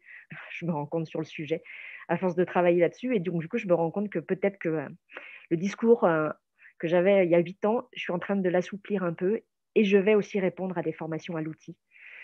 et on en a justement dans le catalogue. Il n'y en avait pas il y a huit ans. Et dans le catalogue du CFLM, on commence à avoir du coup des formations à l'outil. On bouge aussi pour essayer de répondre à une demande voilà, qui est là aujourd'hui portée par Bruno. Et en même temps, je pense qu'il ne faut absolument pas perdre ce qu'évoque Nicolas. Voilà, c'était juste par rapport à ça. Je, voudrais rebondir sur ce que vient de dire Sandrine fort justement. Hein, nous sommes quand même au plus profond des sciences de l'information et dans l'information, il y a formé, hein, c'est-à-dire qu'on structure, on restructure. Et c'est vrai que euh, l'enseignement par le numérique doit se doubler profondément de l'enseignement au numérique, qui plus qu'un outil est une théorie en acte. Hein, c'est-à-dire qu'effectivement, l'utilisation du numérique nous modifie, modifie à la fois euh, nos, nos, fonctions cognitives, euh, euh nos, nos, façons de... le temps aussi, le rapport au temps. Hein, le, si je parle de la musique, par exemple, le temps de l'apprentissage d'un instrument qui prenait 10 ans, etc., avant de produire un résultat un peu supportable pour les voisins, c'est fini. On peut très très vite devenir autonome, voire créateur, donc ça remet aussi en question cette question. Est-on créateur quand on utilise un outil aussi puissant qui est une production mentale d'un autre ou d'un groupe d'individus Donc c'est aussi le, statut euh, de la création qui est, qui est interrogé. Et c'est vrai que ça nous amène à dire ça, c'est que globalement, oui, euh, sur la formation aux outils du numérique, il faut parallèlement avoir une formation sur le numérique et, euh, un travail, j'allais dire, de critique, mais au sens qu'ancien du terme, c'est-à-dire rester toujours extrêmement euh, critique par rapport à cet outil, c'est-à-dire, encore une fois, ce que je disais tout à l'heure, ne pas être agi par, mais agir avec.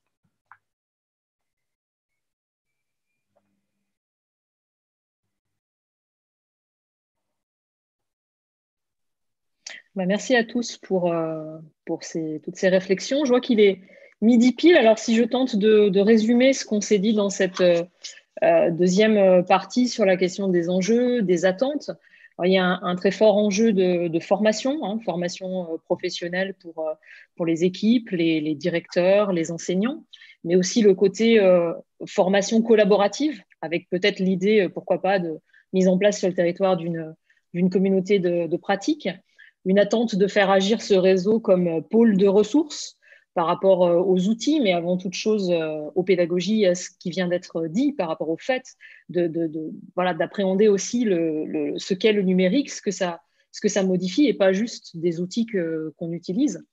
Et puis aussi le côté être un réseau et avoir une existence et avoir un poids aussi face à un secteur de l'innovation, face à, des entités sur le territoire euh, pouvoir euh, négocier euh, des, tarifs pour des outils, pouvoir construire des outils ensemble, ou aussi pouvoir s'adresser au territoire et dire, eh bien, équipez-nous, aidez-nous à avancer, amenez la fibre jusqu'à notre territoire pour pouvoir travailler. Donc, pour moi, c'est ces trois grands axes résumés assez rapidement qui se dégagent aujourd'hui et qui devront être peut-être confirmés, infirmés par, par la suite de nos échanges. Euh, en tout cas, donc, nous allons poursuivre la démarche et imaginer euh, quelle peut être la suite de cette table ronde euh, sur un format peut-être plus, long, plus conséquent, euh, sur le, vraisemblablement le, printemps, le troisième trimestre, à la lueur aussi de ce qui aura été fait au sein des, différentes euh, structures. Donc tout le, contenu de cette table ronde sera disponible sur la chaîne YouTube après la fin de notre rencontre, euh, donc sur la chaîne YouTube de l'école de musique de Solar. Je vous enverrai également le lien et puis nous le mettrons sur le, site du, projet. Et ce sera tous ces échanges que nous avons eus, l'objet de nos futurs échanges que nous allons mener à partir du retour des, vacances euh, qui, arrivent en cette fin de semaine. Je voudrais euh, tous vous remercier euh, pour votre présence. On a été au, plus fort de la, de la, participation à 22 participants pour une première rencontre professionnelle. C'est une mobilisation vraiment très importante et les échanges ont été très intéressants, fluides, vraiment, vraiment pertinents. Je voudrais vous remercier pour votre engagement dans cette démarche, puisque, bon, à l'exception de la structure qui s'est excusée, toutes les structures qui se sont engagées euh, euh, et qui sont parties prenantes ont été présentes ce matin et, euh, ont témoigné.